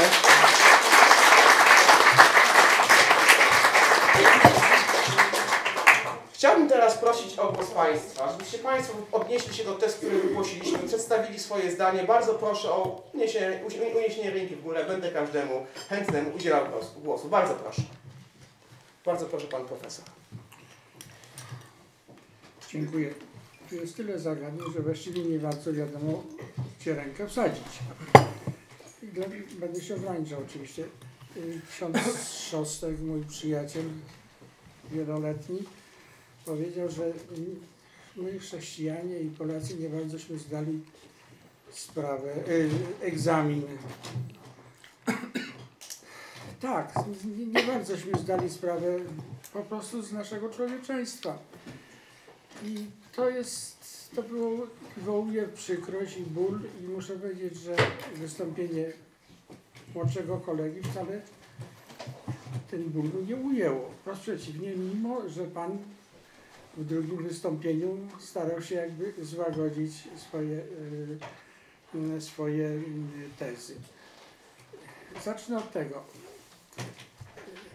Etyka, jakakolwiek by nie była, zawsze odnosi się do wartości, które są wartościami człowieka i do powinności ludzkich. I dlatego trudno jest tutaj w etyce mówić o Polaku, Hiszpanie, kimkolwiek. No jest mówić nawet to, co pan profesor tutaj wspomniał o obcy czy nie obcy. No jeśli jesteśmy wszyscy ludźmi i do nas się odnoszą te wartości, powinności czy obowiązki, to właściwie nie ma tutaj miejsca na kategorię swój czy obcy. Oczywiście wiem, że są takie filozofie, które to y, jakoś podtrzymują, ale to chyba jest troszkę, troszkę jest y, nieporo, nieporozumienie.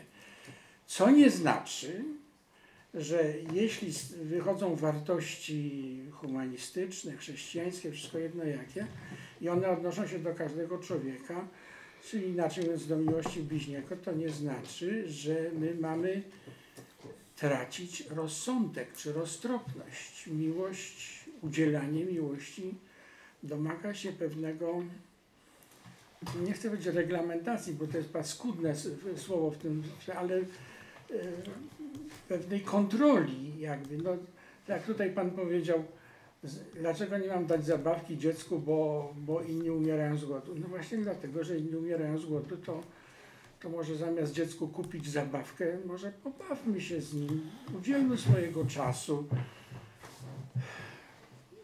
Przepraszam, nie mówię tego dlatego, bo sam mam osobiste doświadczenia bycie uchodźcą, właściwie wrzutkiem jako małe dziecko na początku wojny, bo jestem już starym człowiekiem bardzo i wiem, co to znaczy. Wiem, co to znaczy i wiem, co to znaczy być przyjmowanym albo być odrzucanym przez, e, przez innych. Ja dwa, trzy miesiące temu, do takich trywialnych rzeczy teraz nawiążę, dwa czy trzy miesiące temu taki krótki artykuł umieściłem w Rzeczpospolitej, gdzie, przepraszam za to, co powiem, wyliczyłem koszty, które pamiętacie Państwo, przydzielono nam jakby 7 tysięcy uchodźców do utrzymania. Ja obliczyłem, że na każdego Polaka, jeśli każdy uchodźca wykosztował nas miesięcznie 2000 złotych, to każdego Polaka miesięcznie to będzie wynosiło, o ile dobrze pamiętam, 8 groszy. To nie jest oszałamiająca y, funkcja, tym bardziej, że niektórzy wydali więcej niż te 8 groszy. Pan profesor tutaj mówił o adopcji. O, tak, jest taka instytucja, która nazywa się adopcja serca. I ta adopcja serca, koszty są wyliczone 140 zł na miesiąc. I to jest sieroty, sieroty w, w Afryce. I te 140 zł obejmuje pełne utrzymanie, jedzenie, spanie i tak dalej i szkołę dla tego dziecka. Czy naprawdę nikogo z Polaków na to by nie było stać? Wiem, że jest wielu, że jest wielu takich ludzi. I dlatego, jeśli my mówimy o uchodźcach, o wyrzuc wyrzuconych ludźmi, o tych, którzy giną, nie możemy mówić o zaczynać od kontroli. zacznijmy od otwarcia się na tych ludzi, a kontrola to jest jakby rzecz wtórna, nie tyle dotycząca sprawy moralności, czyli zajęcia się drugim człowiekiem, bo jest człowiekiem, tylko ewentualnie innych służb społecznych, które mają pilnować naszego bezpieczeństwa, porządku czy coś innego. Ale to jest wtórna dopiero rzecz. Pierwsza rzecz jest taka, ktoś potrzebuje, to jemu trzeba po prostu pomóc. Jeden z naszych znakomitych polityków powiedział, co zrobić z tym napływającymi. No topić te statki, to, to, świństwo się tutaj pcha zupełnie niepotrzebnie. Nie będę mówił nazwiska, bo tak pewno wiecie o kogo chodzi, a po co mu jeszcze dodatkową y, reklamę, y, reklamę robić. Oczywiście, że, że to, jest, to jest jakieś roz, rozstrzygnięcie tego problemu, ale dla człowieka, dla człowieka normalnego to jest rozstrzygnięciem jest pomoc adekwatna do naszych możliwości i do naszej wrażliwości. Naprawdę nie jest tak, że egoizm i skąpstwo ma być normą postępowania moralnego. Dziękuję, przepraszam. Czy ktoś z panów chciałby się odnieść? Pewnie najbardziej pan. Może jeszcze publicznie. E, przepraszam, jeszcze zostało dużo czasu. E, tak. Rozumiem, wiem, to żeby się odnieść, nie chciałbym, żeby pan profesor musiał czekać na tę odpowiedź. Ja absolutnie się z tym wszystkim zgadzam. E, to znaczy, jestem również przeciwko egoizmowi, jestem przeciwko sobkostwu, zamknięciu się całkowitemu i głuchocie na e, e, prośby ludzi potrzebujących. Natomiast e, wyraźnie możemy zaobserwować, że ci ludzie, którzy do nas przybywają, to nie są tylko i wyłącznie ludzie, którzy potrzebują naszej pomocy. Ja celowo powiedziałem o migrantach, czyli ludziach, którzy nie tylko uciekają przed wojną, ale również tych, którzy na przykład przybywają tu tylko po to, da, da, daj Boże, żeby tylko w takim celu, żeby po prostu żyć za pieniądze Europejczyków z pomocy socjalnej. I to o tym trzeba również pamiętać, trzeba również zauważyć. E, Stąd ta kontrola, o której mówię, to znaczy kontrola, y, która pomogłaby nam zracjonalizować wydawanie przez nas pieniędzy, bo teraz o tym się tak naprawdę nie myśli, ale y, przyjmowanie uchodźców, czy generalnie migrantów pociąga ogromne koszty. I kiedy my zapominamy o tych kosztach, kiedy my zapominamy również o kosztach Niech pan pamięta o tych ośmiu groszach, które przypada na każdego. tak, oczywiście, tylko czemu to nie jest argument typu stopa w drzwiach? Jeżeli my przywydajemy 8 groszy na 7 tysięcy uchodźców, dlaczego mamy nie przyjąć 70 tysięcy, skoro to jest tylko 80 groszy? Czeczenów było przeszło 90 tysięcy. I już się odnosiłem do tego, do tego zarzutu, mówiąc o, o tym, że to nie jest aż tak znacząca odmienność kulturowa. To byli ludzie zazwyczaj piśmienni, ludzie wychowani w zupełnie innej obyczajności niż tych, których musimy dziś przyjąć. Więc jak najbardziej ja nie chcę polemizować e, ze wszystkimi tezami, chciałbym oddać głos innym. Chciałbym powiedzieć, że nie godzę się do końca na przedstawianie mnie jako człowieka, który broni egoizmu i twardego serca i tak dalej. Po prostu trzeba zdać sobie sprawę, że Europa stoi przed ogromnym wyzwaniem. Pamiętając o bliźnich, o tych, którzy potrzebują pomocy, musimy również pamiętać o bezpieczeństwie naszym, przyszłych pokoleń i zrównoważyć to. I tak naprawdę to tylko głosi mój e, argument. Więc to jest moja odpowiedź. E, czy ja, czy ktoś z Państwa chciałby jeszcze pytanie? Jak najbardziej myślę, że mamy jeszcze 45 minut na dyskusję, więc bardzo proszę, gdyby ktoś z Państwa chciał. Bardzo proszę. Proszę. Duda. Y, Chciałem powiedzieć, że y, cała ta dyskusja w moim mniemaniu jest y, bardzo interesująca i bardzo na pewno e, nas tutaj zgromadzonych na problem, aczkolwiek wydaje mi się, że e, nie wiem, z Panów to powiedział, że mm, nie zdaliśmy egzaminu e, z człowieczeństwa. Wydaje mi się, że e, to zależy od definicji człowieczeństwa jaką przyjmiemy oczywiście. e, I my w tym momencie nie potrzebujemy chyba, my jako Polska, jako Polacy, tak bardzo opierać się na tej definicji zakorzenionej w tradycji chrześcijańskiej. Nie, nie stawiam tutaj teraz jakby odpowiedzi na jakiej innej, aczkolwiek o co mi chodzi. E, Wymaga się w, tutaj z, z tego punktu widzenia, z tego stanowiska, abyśmy e, s- naszą moralność tak, opierali na tej definicji, a brakuje e, w tym zdrowego rozsądku. Tak? Tutaj dużo padło abstrakcyjnych pojęć, dużo bardzo logicznych argumentacji. Mi zabrakło jednak e, pewnej dozy faktów, takiej jak na przykład o to, o czym Pan mówił, prawda, że ci uchodźcy, tak, imigranci, y, być może w większym y, procencie są właśnie imigrantami zarobkowymi. Wiemy o tym, że oni nie przystają do naszej kultury, a wręcz są to w pewnym sensie kultury ze sobą e, konkurujące, może jakoś nie, nie współjedne. E, Bardzo łatwo jest dotrzeć do takich materiałów w internecie, gdzie e, okazuje się, iż są oni dość zamożnymi osobami, bo mają telefony e, równie dobre jak my, mają drogie zegarki, wręcz otwarcie deklarują, że chcą się dostać tam na przykład do Wielkiej Brytanii, aby otrzymać zas zasiłki socjalne. I tutaj można by jakby takich właśnie argumentów mnożyć za tym, dlaczego warto by jednak poskromić tą moralność w sobie e, taką typowo chrześcijańską na rzecz y, chłodnej logiki, prawda? I wydaje mi się, że my jako mm, Polska jesteśmy w takim momencie też y, naszej historii, że moglibyśmy sobie na jakiś czas ten mesjanizm y, tutaj zakorzeniony w naszym myśleniu odpuścić i nie brać na barki tych kłopotów, które de facto zostały wykreowane przez naszych sąsiadów, prawda? Być może nawet cały, cały, cała ta dyskusja cała ta dyskusja a propos tego, że powinniśmy przyjąć y, uchodźców, ponieważ to, to jest y, to jest jakby to, co prawdziwy chrześcijanin powinien zrobić, została wywoła, wywołana y, i prze, prze, zaaplikowana do dyskusji y, społecznej przez właśnie panią Angelę Merkel, bo pamiętam, że ona użyła takiego argumentu, ale dlaczego ona użyła?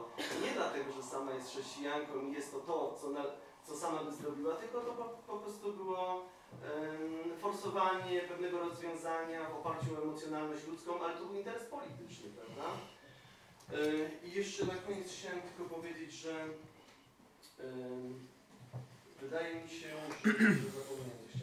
E, Generalnie em, nie oczekiwałbym też od em, przeciętnego Polaka, e, aby mm, był w stanie ostatecznie rozstrzygać tu i teraz, czy pomóc, czy nie pomóc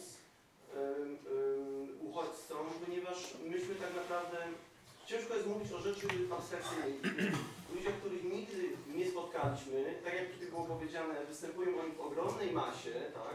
Założę się, że każdy przeciętny Polak, gdyby faktycznie ktoś zapukał do jego drzwi i powiedział, potrzebuje pomocy, potrzebuje pieniędzy, zrobiłby to bez problemu, ale jak można to przykładać sytuacji, kiedy właśnie nie dość, że jest to, są to miliony, czy w naszym przypadku tysiące, dwa, nigdy nie widzieliśmy na oczy, nie mamy z nimi nic wspólnego, a w tym samym czasie, tak, te 8 groszy, o których tu była mowa, e, bardzo by się przydały choćby w polskich domach dziecka, prawda? I zaledwie odwołują się do tych dzieci w Afryce za, za 130 zł miesięcznie. Ja byłem wolontar- wolontariuszem w domu dziecka i myślę, że te 8 groszy od każdego z nas by się przydało tu i teraz. Bardzo dziękuję. To Bardzo proszę, było- ksiądz profesor. To chyba było do mnie. Bardzo dziękuję za ten głos i parę słów odpowiedzi chciałbym dać. Po pierwsze zacząć chciałbym od tego, na czym Pan skończył. My bardzo mało wiemy o tych, którzy mali, mieliby być naszymi imigrantami. Bardzo mało wiemy, a już wiemy, że są bardzo obcokulturowo. Nie wiem skąd. Ja słuchałem różnych ludzi, którzy tam pracują, także i chrześcijan, bo to w końcu tamten świat też nie był przed nami zamknięty. I nie uzyskałem potwierdzenia tego rodzaju tezy. Natomiast, owszem, tak jak u nas bywa rozpowszechniony, przepraszam bardzo, ale dość płytki prymitywny pogląd na temat istoty tych wyznawców różnych islamu, tak wśród tych wyznawców islamu jest rozpowszechniony, do, rozpowszechniony dosyć prymitywny i prosty pogląd na nasz temat, że jesteśmy niemoralni, że jesteśmy właściwie ateistami, że jesteśmy czysto materialistami. Niezwykle ciężkie zarzuty są szczerze stawiane przez nie specjalnie wykształconych, ale przedstawicieli tamtej kultury, co mnie skłania raczej do tego, żebyśmy się spotykali, a nie unikali. Właśnie dlatego, żeby tego rodzaju jednostronności, tego typu skrajności przezwyciężyć. To jest po pierwsze. Po drugie, co do człowieczeństwa. Ja nie mam poczucia, żeby ta była specjalnie definicja chrześcijańska, która odbiega od człowieczeństwa rozumianego w sposób naturalny. Stara zasada teologiczna mówi, przepraszam, wybaczcie się chwilę, piszę łaciną, gratia non destruit naturam sed supponit et perficit eam, czyli łaska, to wszystko, co nadprzyrodzone, co wykracza ponad porządek naturalny, nie niszczy natury, ale ją umacnia i pogłębia i potwierdza. To, co znajdujemy w Ewangelii, jest znajdowaniem jednocześnie czegoś, co podnosi coś, co człowiek ma zapisane w swoim sercu. Żeby wrócić raz jeszcze do przypowieści o miłosiernym Samarytaninie, proszę zauważyć, Pan Jezus nie użył argumentu z autorytetu, żeby pomagać każdemu, tylko opowiedział przypowieść, na którą nawet ktoś, kto nic więcej nie słyszał o Ewangelii, nic nie słyszał o Panu Jezusie, nie ma wątpliwości, jak odpowiedzieć na ostatnie pytanie, kto okazał y, y, y, się bliźnim tego, który wpadł w ręce zbójców. Nikt nie ma na jakiej podstawie. Nie na podstawie e, katechizmu, któryśmy przeszli, tylko na podstawie tego, co każdy z nas w swoim sercu ma. Ja do tego się odwołuję. Jeśli my dzisiaj uważamy za jedno z największych dzieł Antygonę Sofoklesa, to przypominam, że tam jedno z kluczowych zdań, które Antygona wypowiada, współkochać przyszłam, nie współnienawidzić.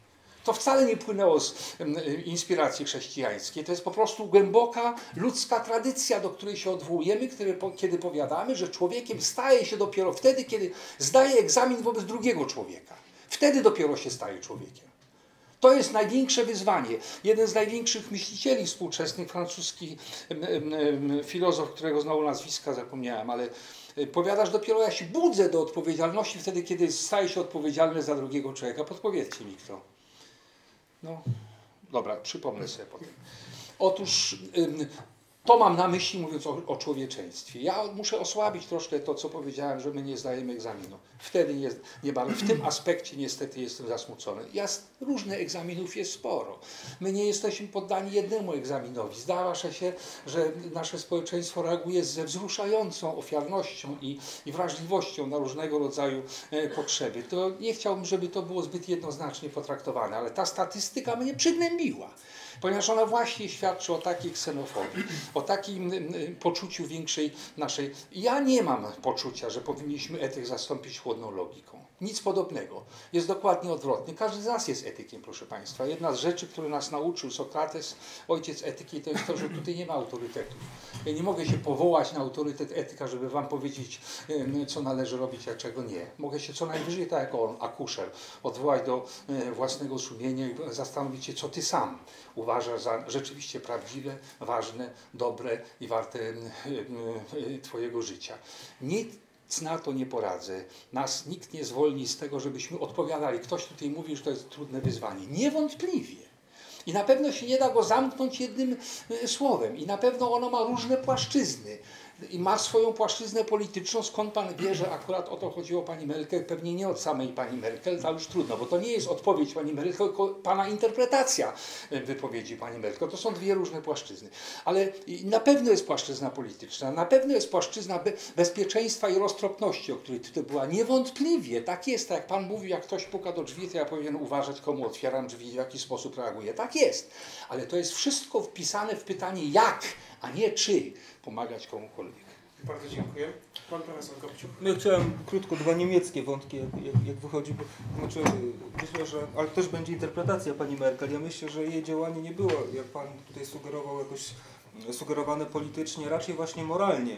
Do mnie bardziej przemawia ta interpretacja, gdzie się mówi, że Merkel okazała bardzo wysoką wrażliwość w związku też z tradycją niemiecką, to znaczy no, e, poczuwa się do odpowiedzialności no, za to, co Niemcy zrobili Europie. I teraz jest to taka próba jakby no, zrobienia no, dobra, wykonania dobra. Natomiast mm, mm, wydaje mi się, że no, też nie wiązałbym takiej potrzeby udzielania pomocy, o której mówiłem wcześniej, o takim naturalnym odruchu z, no, z religijnością. To znaczy w różnych religijnościach ten nakaz się także pojawia. Natomiast wydaje się, że to jest no, taki raczej y, odruch y, y, emocjonalny, związany raczej właśnie no, z ludzką naturą, z, człowiecze- człowiecze- z człowieczeństwem, jak ksiądz profesor mówi. I znowuż to dlaczego niemiecki wątek? Przypomniał mi się, więc powiem Państwu, Otto Friedrich Bollnow, który chyba w 1946 roku pisał cykl takich artykułów jak Niemcy mają e, e, żyć, no właśnie po przegranej tej, tej politycznej, po katastrofie, oni jeszcze pewnie się nie dowiedzieli tak naprawdę, jeszcze nie uświadomili sobie tego, co zrobili. I on pisze kilka takich tekstów i one noszą tytuł Einfache Sittlichkeit, zwykła moralność. I tam się pojawiają właśnie takie bądź pomocny, nie kłam, e, nie oszukuj. Zwykłe, zupełnie pozbawione jakiegokolwiek, czy w religii, czy w doktrynie, czy w teorii uzasadnienia postulaty. W związku z tym no ja bym raczej się skłaniał no, do no, jakichś takich e, e, nie od, do jakichś takich e, nie odwoływań się do właśnie kontekstu religijnego tutaj. To nie, to nie ten kontekst jest tutaj tym, co, co kluczowe, choć on oczywiście może być dodatkowo e, argumentem. Dziękuję. Kto z Państwa jeszcze? Bardzo proszę. Ja tutaj chciałbym się odnieść, przed chwilką się Pan wypowiadał na temat faktów. Bardzo się cieszę, że zechciał Pan zwrócić uwagę na fakty. Szkoda, że Pan tego tematu nie rozwinął i żadnych faktów nie przedstawił. E, Zgodzę się, że fajnie byłoby e, popatrzeć troszeczkę nie z punktu widzenia etyki, moralności itd., tylko bardziej zimnej logiki. Owszem, wypowiedź pani Merkel może być interpretowana czysto politycznie, bo faktycznie okazuje się, że Niemcy zdecydowanie więcej zarobią na tym, że przyjmują uchodźców, niż, e, niż pieniądze, które wydadzą. Zastanówmy się, dlaczego e, Polska e, dzisiaj e, duża część Polaków argumentuje, że nas nie stać. Może nie jest problemem to, że nas nie stać na ściągnięcie jakiegoś imigranta, tylko nasz system ekonomiczny nie stać na w ogóle funkcjonowanie. To jest jedna kwestia. Druga kwestia. Tutaj Pan wypowiadał się na temat tego, że no to rządy jakieś mityczne wywołują wojny.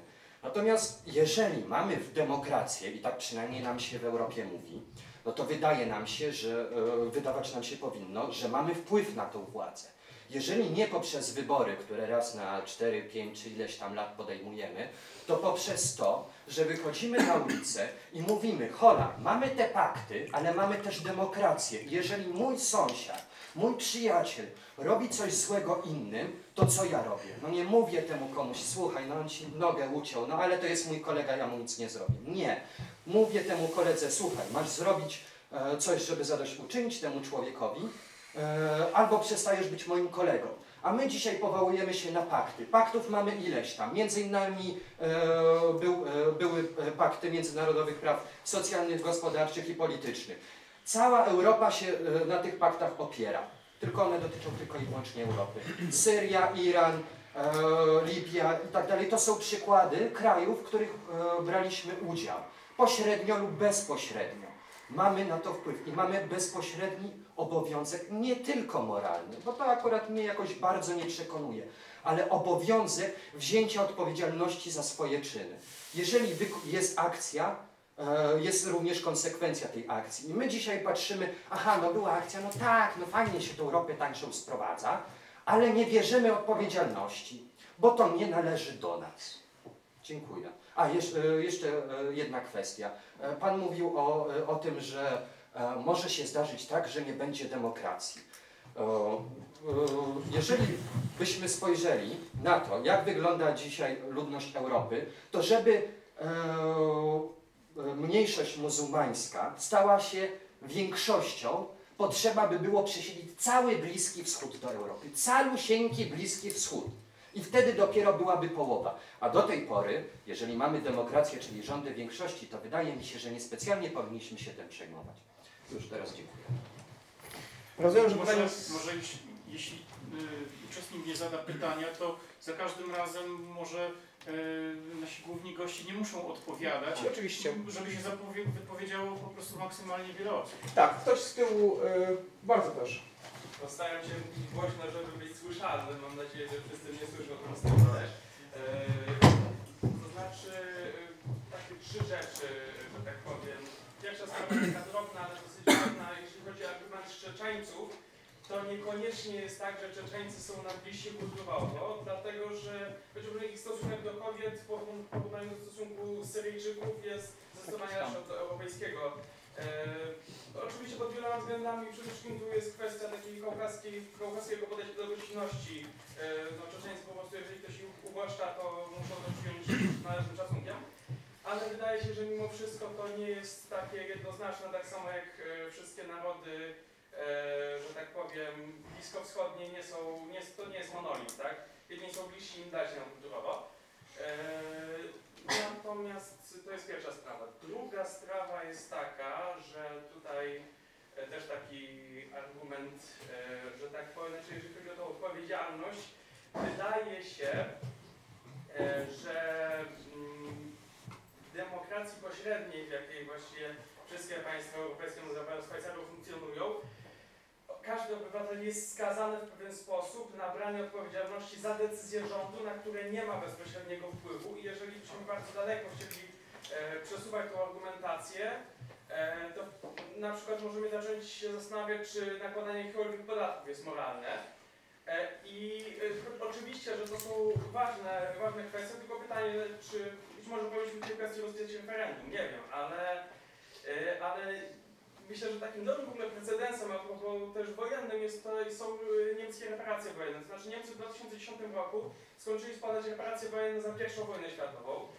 E, I wydaje się, że nie każdy Niemiec e, w 1914 roku chciał tego, żeby rozpoczęła się wojna e, właśnie z Francją, tak i później z, z, z państwami europejskimi. Natomiast ta wojna się zaczęła, tak? I Niemcy musieli jakoś wziąć za to, za to odpowiedzialność.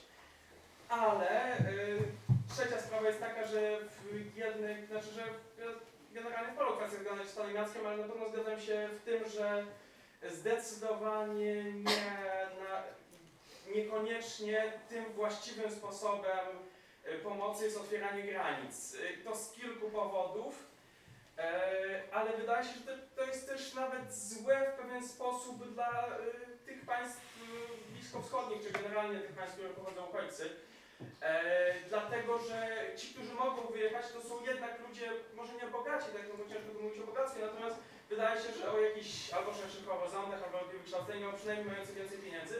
W takiej sytuacji w tych państwach zostają tylko ludzie, którzy są najbiedniejsi, najgorzej wykształceni, e, no i ludzie, którzy tam walczą po prostu, tak? E, Generalnie są to ludzie, którzy nie doprowadzą do e, odbudowy takiego państwa albo ustabilizowania sytuacji. Tam jeżeli zaczniemy pokazywać jako jedyną drogę do wyjścia, że tak powiem, z tej wojny tylko ucieczkę do Europy, to Europa, nie wiem, może w jakiejś tam perspektywie y, stać, znaczy generalnie Europa, w Europie będzie dużo tych, że tak powiem, ludzi, którzy mogli uciec, natomiast tam zostaną tylko ci najbiedniejsi albo ci, którzy tam walczą, czyli taki element raczej destrukcyjny, najbiedniejsi.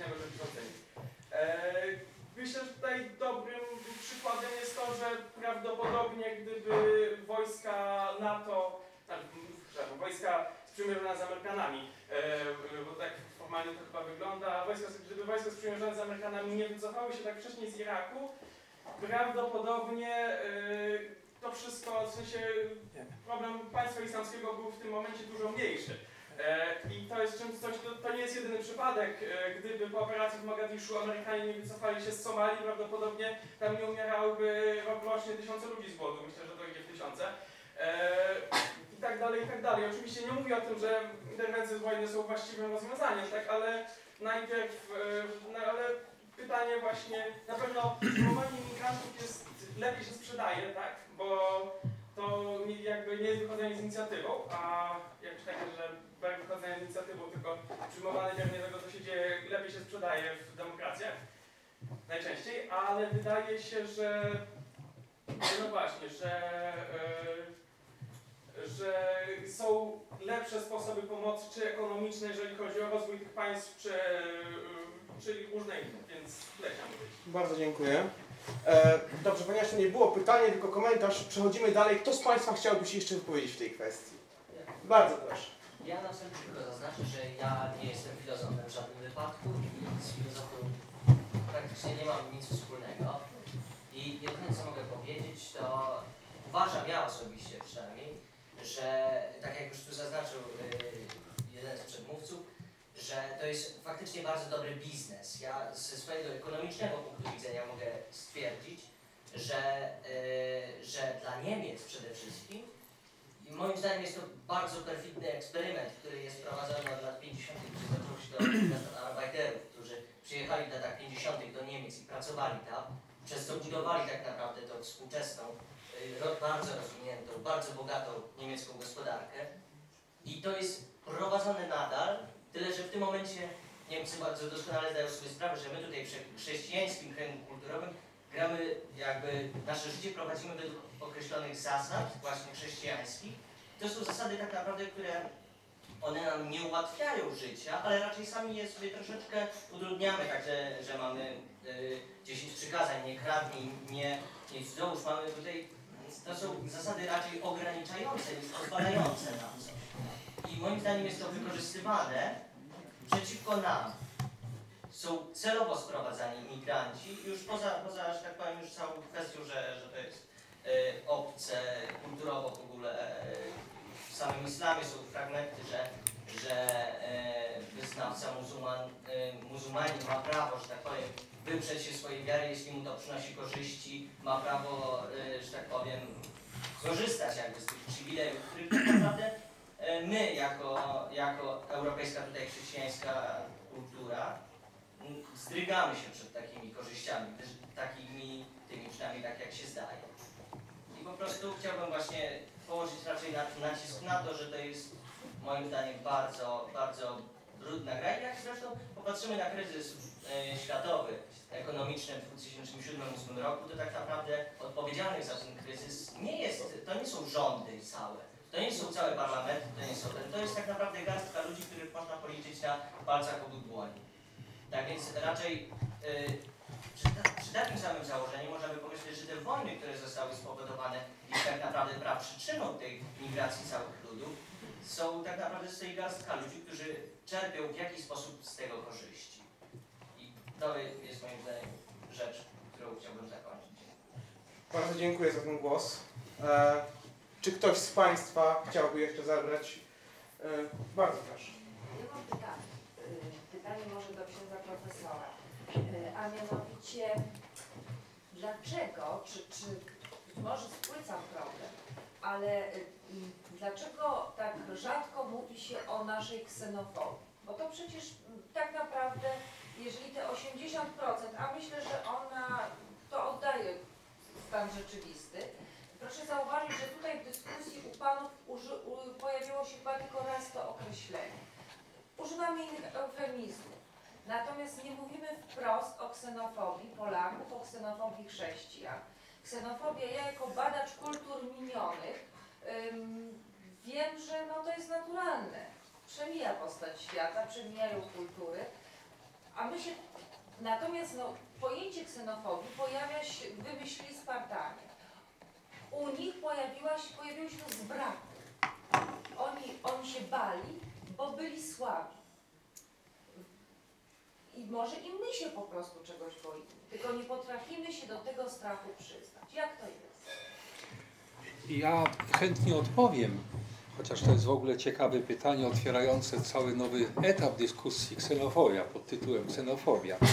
Natomiast y, ja mam jedno pytanie organizacyjne, jest za 29. Czy to jest sztywny termin skończenia? Jeśli tak, to wszyscy pewnie troje chcielibyśmy mieć możliwość odpowiedzi. Ja bym chciał skorzystać z tego, żeby odpowiadając na pa- na Pani pytanie, zamknąć w ogóle swój głos już dzisiaj w debacie. Czy może tak być? Mm, a i, ksiądz profesor przewiduje w jakim czasie? No ja bym jednak dobre 5 minut chciał powiedzieć, oprócz tego, co chce odpowiedzieć Pani. No dobrze, jeżeli będzie to dobre, więc myślę, że możemy się zgodzić. Ja mogę osobiście Bo, bo potem Pan będzie głos. chciał coś powiedzieć i Pan profesor będzie chciał coś powiedzieć, tylko ja po prostu pytam, żeby nie Jeżeli chciał. ksiądz profesor chce zakończyć, to, to Najpierw Pani chce odpowiedzieć, czemu się mało mówi o ksenofobii. Nie wiem, pewnie za mało się mówi. Jak się ktoś tym zajmuje bliżej, to zawsze ma poczucie, że cały świat nie wie o czymś ważnym, o czym ja akurat z powodu swoich zainteresowań wiem więcej. Tak się zdarza. Ale ja myślę, że jest pewna lewa strona naszego patriotyzmu, żeby dotknąć jeszcze jednego tematu. Hasłem mojego szlachetnego uniwersytetu to hasło brzmi Deo et Patrie, Bogu i Ojczyźnie. I pamiętamy rok 1918, kiedy Polska odzyskiwała niepodległość po ponad 123 latach nieobecności na mapie Europy i świata. Jednym z najtrudniejszych pytań było, co może Polaków łączyć, którzy przez całe pokolenia byli w różnych państwach, których synowie walczyli przeciwko sobie w różnych aut, au, armiach. I szukano tego, co nas łączy. Łączy wiara chrześcijaństwa i patriotyzm. Stąd to między innymi to hasło Deo Patrie. Lewa strona tego patriotyzmu jest właśnie taka, która się objawia w ksenofobii. To znaczy dla ratowania, pamiętamy cały endecki y, nurt w, Polsce międzywojennej sięgający po, dziś, po dzisiejszy dzień, mianowicie y, poczucie, że dla obrony naszej tożsamości trzeba być ostrożnym, żeby nie powiedzieć niechętnym wobec tych wszystkich, którzy y, są dalecy od mojej tożsamości narodowej. Ile się dzisiaj mówi o prawdziwych patriotach? Jak się traktuje tych, którzy inaczej pojmują interesy i sprawy Polski? Nie mamy tego języka cały czas? To jest język ksenofobii. Ten język polityki to jest zarazem moim zdaniem język ksenofobii. Niestety, przykro mi to powiedzieć, ale takie jest moje zdanie. Jak powiadam, uważam, że jest to temat na, oso na osobną dyskusję, y, na którą pewnie dzisiaj nie ma czasu. Ale w kontekście tych wypowiedzi, które już tu były, za które w ogóle ja chcę bardzo raz jeszcze podziękować za zaproszenie i uprzedzić, żeby ta dyskusja jest ciekawa między innymi nie tylko dlatego, że człowiek wiele rzeczy się dowiedział i mógł sam powiedzieć swoje mm, sprawy, które uważał za ważne, ale dlatego, że ona nie ma zmierzać do konkluzji zamykającej sprawę. To nie o to chodzi. Tu raczej chodzi o to, żebyśmy byli wyszli stąd jeszcze bardziej na pewne rzeczy uczuleni i wrażliwi i myślę, że taką funkcję ta dyskusja mogła dzisiaj dzięki różnicy zdań również, dzięki Panu spełnić. Teraz y, co do niektórych rzeczy. Ja mam y, y, kilka wątków zostało poruszonych, które właśnie zasługują na osobną uwagę, a tylko o nich wspominam. Wspominał jeden z panów na temat tego, że gdyby się Amerykanie nie wycofali z Somalii lub Iraku. Moim zdaniem nieprawda. Proszę Państwa, nie trzeba być Europejczykiem, Polakiem, przedstawicielem demokratycznych narodów, żeby odczuwać ból w sercu, kiedy porządek w moim państwie załatwia armia obcego kraju. To, jest, to dopiero uderza w ich poczucie godności i tożsamość. To dopiero budzi tego rodzaju bunt, który być może nie objawiłby się państwem islamskim, ale jakoś by się musiał objawić, ponieważ ich jest dużo i oni to wszyscy przeżywają jako głębokie naruszenie ich własnej y, tożsamości, własnego, i własnej y, suwerenności, własnej wolności, własnej kultury. To było naiwne ze strony Busha, kiedy on sądził, że tam właśnie to wołanie o wolność, jakie symbolizuje ten pomnik na, u wejścia do Nowego Jorku, to jest coś, za czym tęsknią Irakijczycy. To jest w ogóle inny świat. I jest ciężkim błędem niektórych wielkich polityków i, doradców, że nie doceniają tego wielkiego świata, że nie doceniają zupełnej różnicy w pojmowaniu tych wszystkich spraw. Także ja wcale nie jestem pewien, czy akurat wojska w Somalii i Iraku by załatwiły sprawy lepiej niż dzisiaj. Pojawiły się pytania na końcu. Pan tutaj wspomniał o tym, że to w gruncie rzeczy jest brudna gra. I ja, póki nie mam dowodów, to nie lubię formułować oskarżeń. Jeśli są dowody, to ja je proszę położyć na stół, a nie domyślać się, że jakieś brudne interesy za tym stoją. Natomiast powiem cynicznie, jeśli rzeczywiście Niemcy zarobili na tym, że komuś pomagają, gratuluję im tego. Ja bym chciał, żeby to było także naszym losem. Jeśli nam się uda pomóc komuś i na tym zarobić, świetnie. Nic nie przeszkadza. Ja powiedziałem, że pomoc kosztuje i zawsze będzie kosztowała. I wiąże się z ryzykiem zawsze się będzie wiązała. I już nie chcę rozwijać tej tezy. My musimy roztropnie działać i musimy się chronić przed nadużyciami. Ale jeśli by się okazało, że także y, Pana zdaniem nasz system na to nie pozwala, nie znam się na tym systemie, dlaczego nasz system miałby być tak bardzo inny niż inne systemy, ale gdybyśmy mieli także skorzystać stać na pomocy innym, bardzo proszę, byleby nasza pomoc nie, nie zmieniała to faktu, żeby nasza pomoc była pomocą, a nie kalkulacją, jak mam zarobić. No i wreszcie sprawa tych migrantów zarobkowych. No, najmocniej przepraszam, ale nie, mamy za krótką pamięć. A co robili Polacy wyjeżdżający w czasach Solidarności wcześniej do Anglii? Co to w kulturowym uciekali, czy zabijali ich tutaj? Grozili wyrzucenie z pracy? Boże drogi, to były całe autobusy, które zostawały we Włoszech czy w Anglii, a nikt nie wracał, ponieważ chcieli zarobić.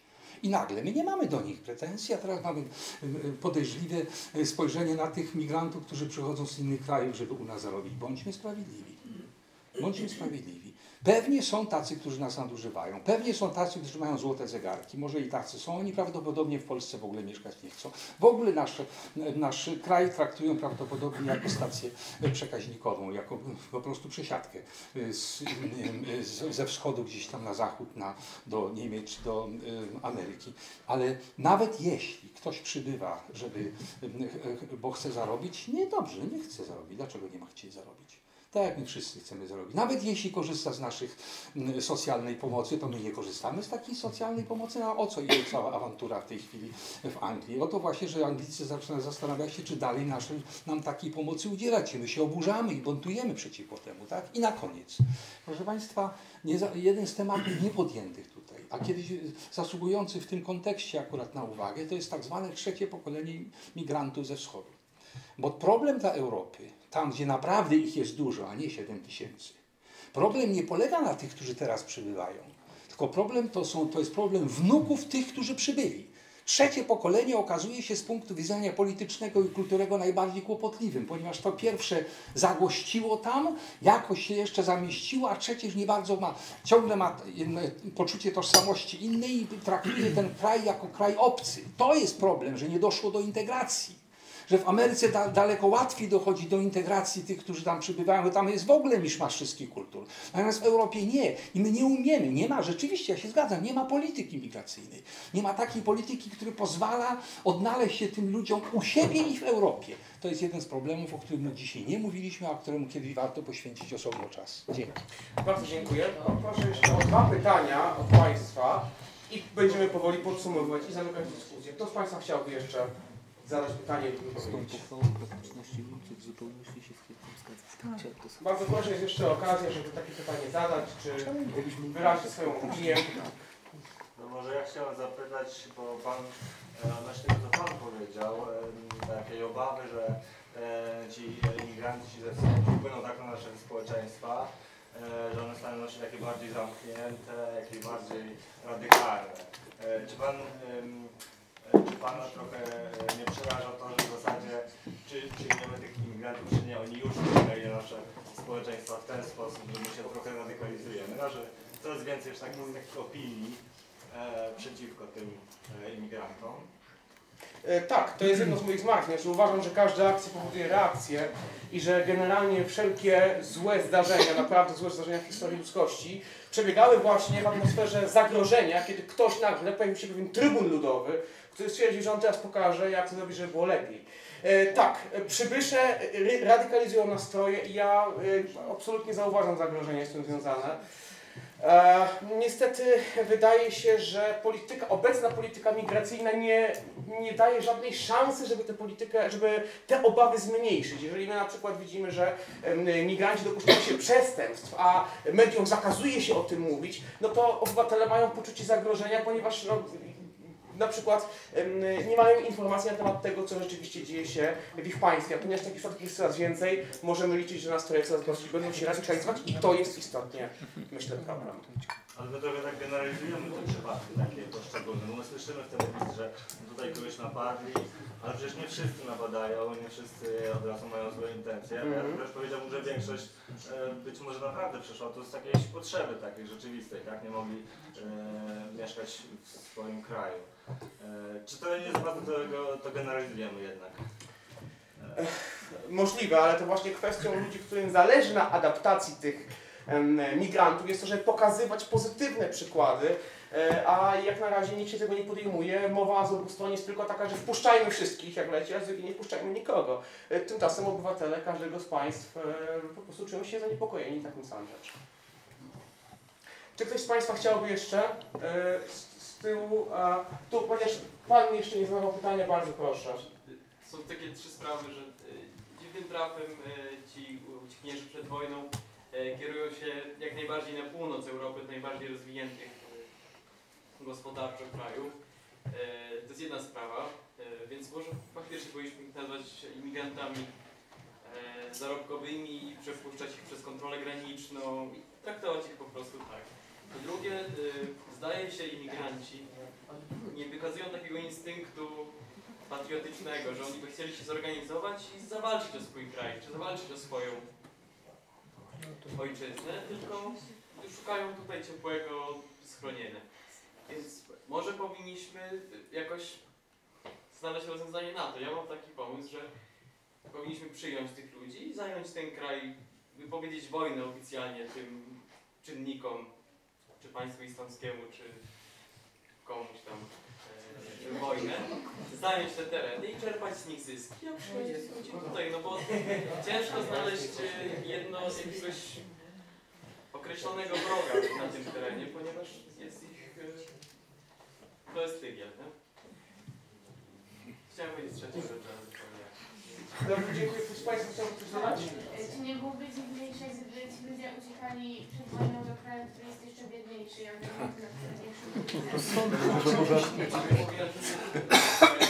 Półwyspu Bałkańskiego, że są biedniejsze niż kraje półwyspu Chodzi mi o uciekinierów, którzy, oni, którzy uciekają przed wojną. Czy to nie byłoby dziwne, że uciekali do krajów jeszcze biedniejszych, skoro... Żaden kraj w Europie nie jest biedniejszy. Czyli to dziwne, że uciekają akurat tam, gdzie mogą... Dziwne, że przebywają wiele tysięcy kilometrów do zupełnie odmiennego klimatu, do jeszcze bardziej odmiennych kulturowo, do jeszcze bardziej zlaicyzowanych e, krajów. Wiemy, że im dalej na północ Europy, tym bardziej zlaicyzowane. Wie pan, jak się ma nóż na gardle, to się nie bardzo myśli o klimacie czy o takich innych rzeczach. e, Ale wie pan, jaki jest procentowy udział Europy i innych krajów? Znacznie więcej emigruje do innych krajów na Bliskim Wschodzie, uciekając z Syrii i z innych krajów. To nie jest tak, że my jesteśmy jedynymi adresatami tych, tych ucieczek. Nic podobnego. Trzeba, trzeba o tym pamiętać. Czy Pani chciałaby coś dodać jeszcze? Też większa tolerancja, więc myślę, że to też mm, ma coś coś wspólnego z tym. Nie ryzykowałabym płynięcia pontonem tylko po to, żeby zarobić na tym. To jest jednak czymś. No, ludzie przepływają pontonem z Kuby do, czy może wanną z Kuby do Stanów Zjednoczonych tylko po to, żeby zarobić. Tak, oczywiście, to jest tak. możliwe.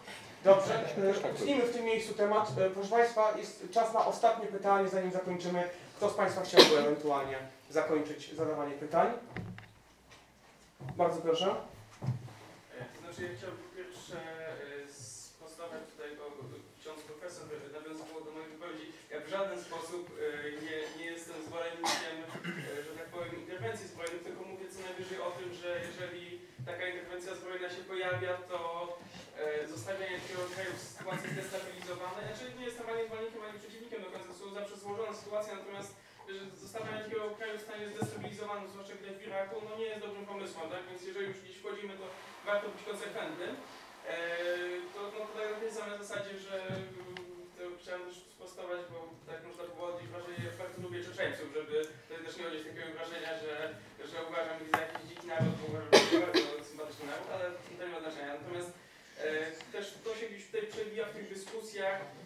Wydaje się, e, że na podstawie pewnej ilości osób, które robią pewną czynność, dopóki nie mamy na ten temat badań socjologicznych, bardzo trudno wyciągać wnioski. To jest na tej samej zasadzie, kiedy idzie się przez na przykład włoskie miasta, można zobaczyć żebraków z telefonami komórkowymi i moglibyśmy na tej podstawie wyciągnąć wnioski, że generalnie wszyscy żebracy na świecie są ludźmi, y, którzy są skrajnie bogaci i tylko udają. Oczywiście jest na pewno wielu. Y, wiadomo, że, że tak powiem, żebractwo jest, jest taką dziedziną, która jest bardzo, bardzo niejednoznaczna, tak samo jak imigracja, może nie przyrównując, ale to nie znaczy, że wszyscy żebracy na świecie są ludźmi opływającymi w bogactwo. E, i, I wydaje się, że często w dyskusji o imigracji w ogóle pojawia się na przykład, tu jest jakieś zdjęcie, obie strony, tu jest zdjęcie na przykład dziecka, które się utopiło, więc to znaczy, że wszyscy imigranci, że generalnie to jest problem, który ma bardzo dużą skalę. Nie mówię, że nie jest, tylko że powinniśmy bazować na jakichś danych socjologicznych, na jakichś danych, które są naukowy, a nie na argumentach, które są właściwie czysto emotywne w stylu widziałam jedną osobę. No jeżeli się zobaczy na przykład fotoreportaże z wyspy Lesbos, to okazuje się, że wcale, e, to okazuje się, że wcale nie jest tak, że tam wszyscy ci ludzie to są, e, to są, e, że tak powiem, samotni mężczyźni, ale to też zależy od dnia, bo innego dnia okazuje się, że jednak tam jest bardzo dużo samotnych mężczyzn, więc prawda jest, że generalnie warto się opierać na jakichś danych socjologicznych, których chyba niezbyt wiele mamy, a nie na jakichś emotywnych argumentach z jednej osoby, która coś tam robiła, albo z jednego zdjęcia. E, Bardzo dziękuję. E, Szanowni Państwo, podsumuję w tym momencie debatę. E, Każdy z prelegentów wypowie się, a następnie spróbujemy jakoś zakończyć tę dyskusję. E, Ksiądz profesor chciałby coś Ja dodać? już, ja już swoje powiedziałem, tylko małe postdictum. Dziękuję za ten głos Pana. Ja chcę tylko wyrazić swoją własną opinię. Jak w orkiestrze wszyscy wygrywają, tak na wojnie wszyscy przegrywają. Zawsze. Ja pamiętam z jaką usilnością święty Jan Paweł II starał się namawiać do y, y, rozwiązań właśnie niewojennych, y, nawet jeśli one są trudne i długotrwałe. Jak się to nie powiodło, nie wyobrażam sobie, nie znam historii takiego, takiej sytuacji, w której wojna by załatwiła sprawę tak, żebyśmy byli, byli wszyscy zadowoleni. Nie ma siły. To, że wyszli za wcześnie, to może z punktu widzenia taktycznego był błąd, ale gdyby byli dłużej, być może mielibyśmy z jeszcze gorszą tragedią do czynienia. Proszę, ponieważ nie chciałbym, żeby mój głos był ostatni ponownie, po raz ostatni wczuję się w rolę prelegenta. Zakończę trzema, coś zepsułem, prawda? Trzema e, zdaniami, mianowicie takimi. Opuszczenie domu przez każdego człowieka, porzucenie go i ucieczka do na inny kontynent jest rzeczą dramatyczną. Jeżeli chcemy pomóc ludziom, to pomagajmy przede wszystkim w taki sposób, żeby oni nie musieli tego domu opuszczać, a potem ewentualnie namyślajmy się, w jaki sposób im pomóc, żebyśmy mogli przyjąć ich na swój teren, ale nie róbmy tego w sposób pochopny, bo konsekwencje naszych decy- decyzji będziemy ponosić tylko my, a jakie one będą, nie chcę przewidywać, musimy po prostu zachować ostrożność. Tyle ode mnie. Bardzo proszę, aby pan profesor Kopciuch zakończył. E, Mam nadzieję, że Pan też coś potem powie, bo nie chciałbym, żeby na mnie cały ciężar Tak, spadł. podsumuję słowo. Natomiast ja tak bardzo króciutko do wątków, które były jeszcze po drodze. Ksenofobia, ja myślę, że dlatego, że nie było u nas doświadczenia wojen religijnych. I ta nasza jakby taka deklarowana akceptacja dla inności, ona jest trochę deklarowana, tak mi się wydaje.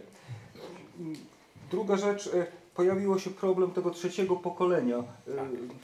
Ja tak pomyślałem, może rację ma Huntington, który mówi, że e, e, mechanizm jakby e, westernizowania innych kultur działa w ten sposób, że oni najpierw się nasycają naszymi wartościami, nabierają naszej technologicznej mocy, a potem wracają do własnych wartości. I on to nazywa chyba Le Revanche de Dieu, zemsta Boga, tego, który był wcześniej przez nich jakby. Może to ten motyw też trzeba byłoby rozważać. Brudne ręce, nie widziałem pana. y, Brudna gra, przepraszam. Y, Brudna gra.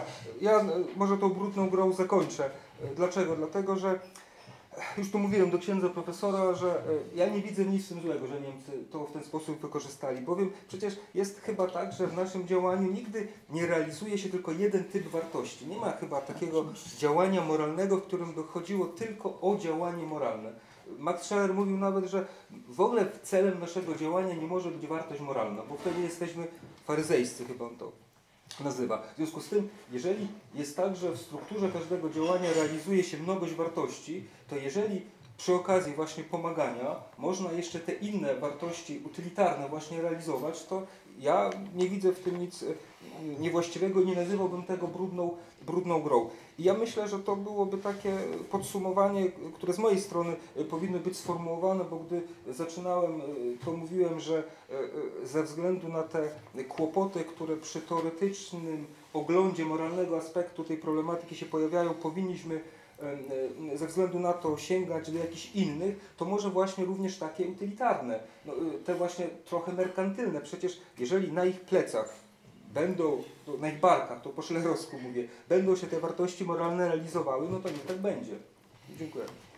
Szanowni Państwo, e, myślę, że po tej debacie trwającej dwie godziny e, nie sądzę, że Państwo wyszli e, z tego miejsca z poglądami znacznie innymi od tego, które Państwo mieli, bo nie o to w tym wszystkim chodzi. Filozofia to jest przede wszystkim sztuka zadawania pytań. Mam nadzieję, że któryś z prelegentów, być może wszyscy prelegenci skłonili Państwa do zadawania pytań, które być może wcześniej nie były wyrażone nie były wyrażone jasno. A pytanie jest już e, tylko o krok od odpowiedzi. My odpowiedzi nie dostarczamy, przedstawiliśmy trzy różne ujęcia pewnego problemu. Mam nadzieję, że każdy z Państwa będzie mógł e, w tej kwestii mieć teraz swoje bogatsze zdanie, ponieważ problem jest ze- ze wszech miar praktyczny i wydaje się, że bez odniesienia się do niego nie jest możliwe rozumienie e, współczesnych procesów, które dzieją się na naszych oczach w Europie. Tymczasem chciałbym bardzo podziękować naszym prelegentom, nagrośmy ich brawami. Ksiądz profesor Andrzej Szostek.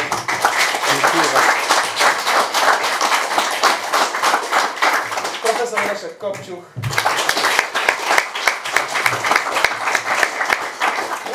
Już braw nie potrzebuję.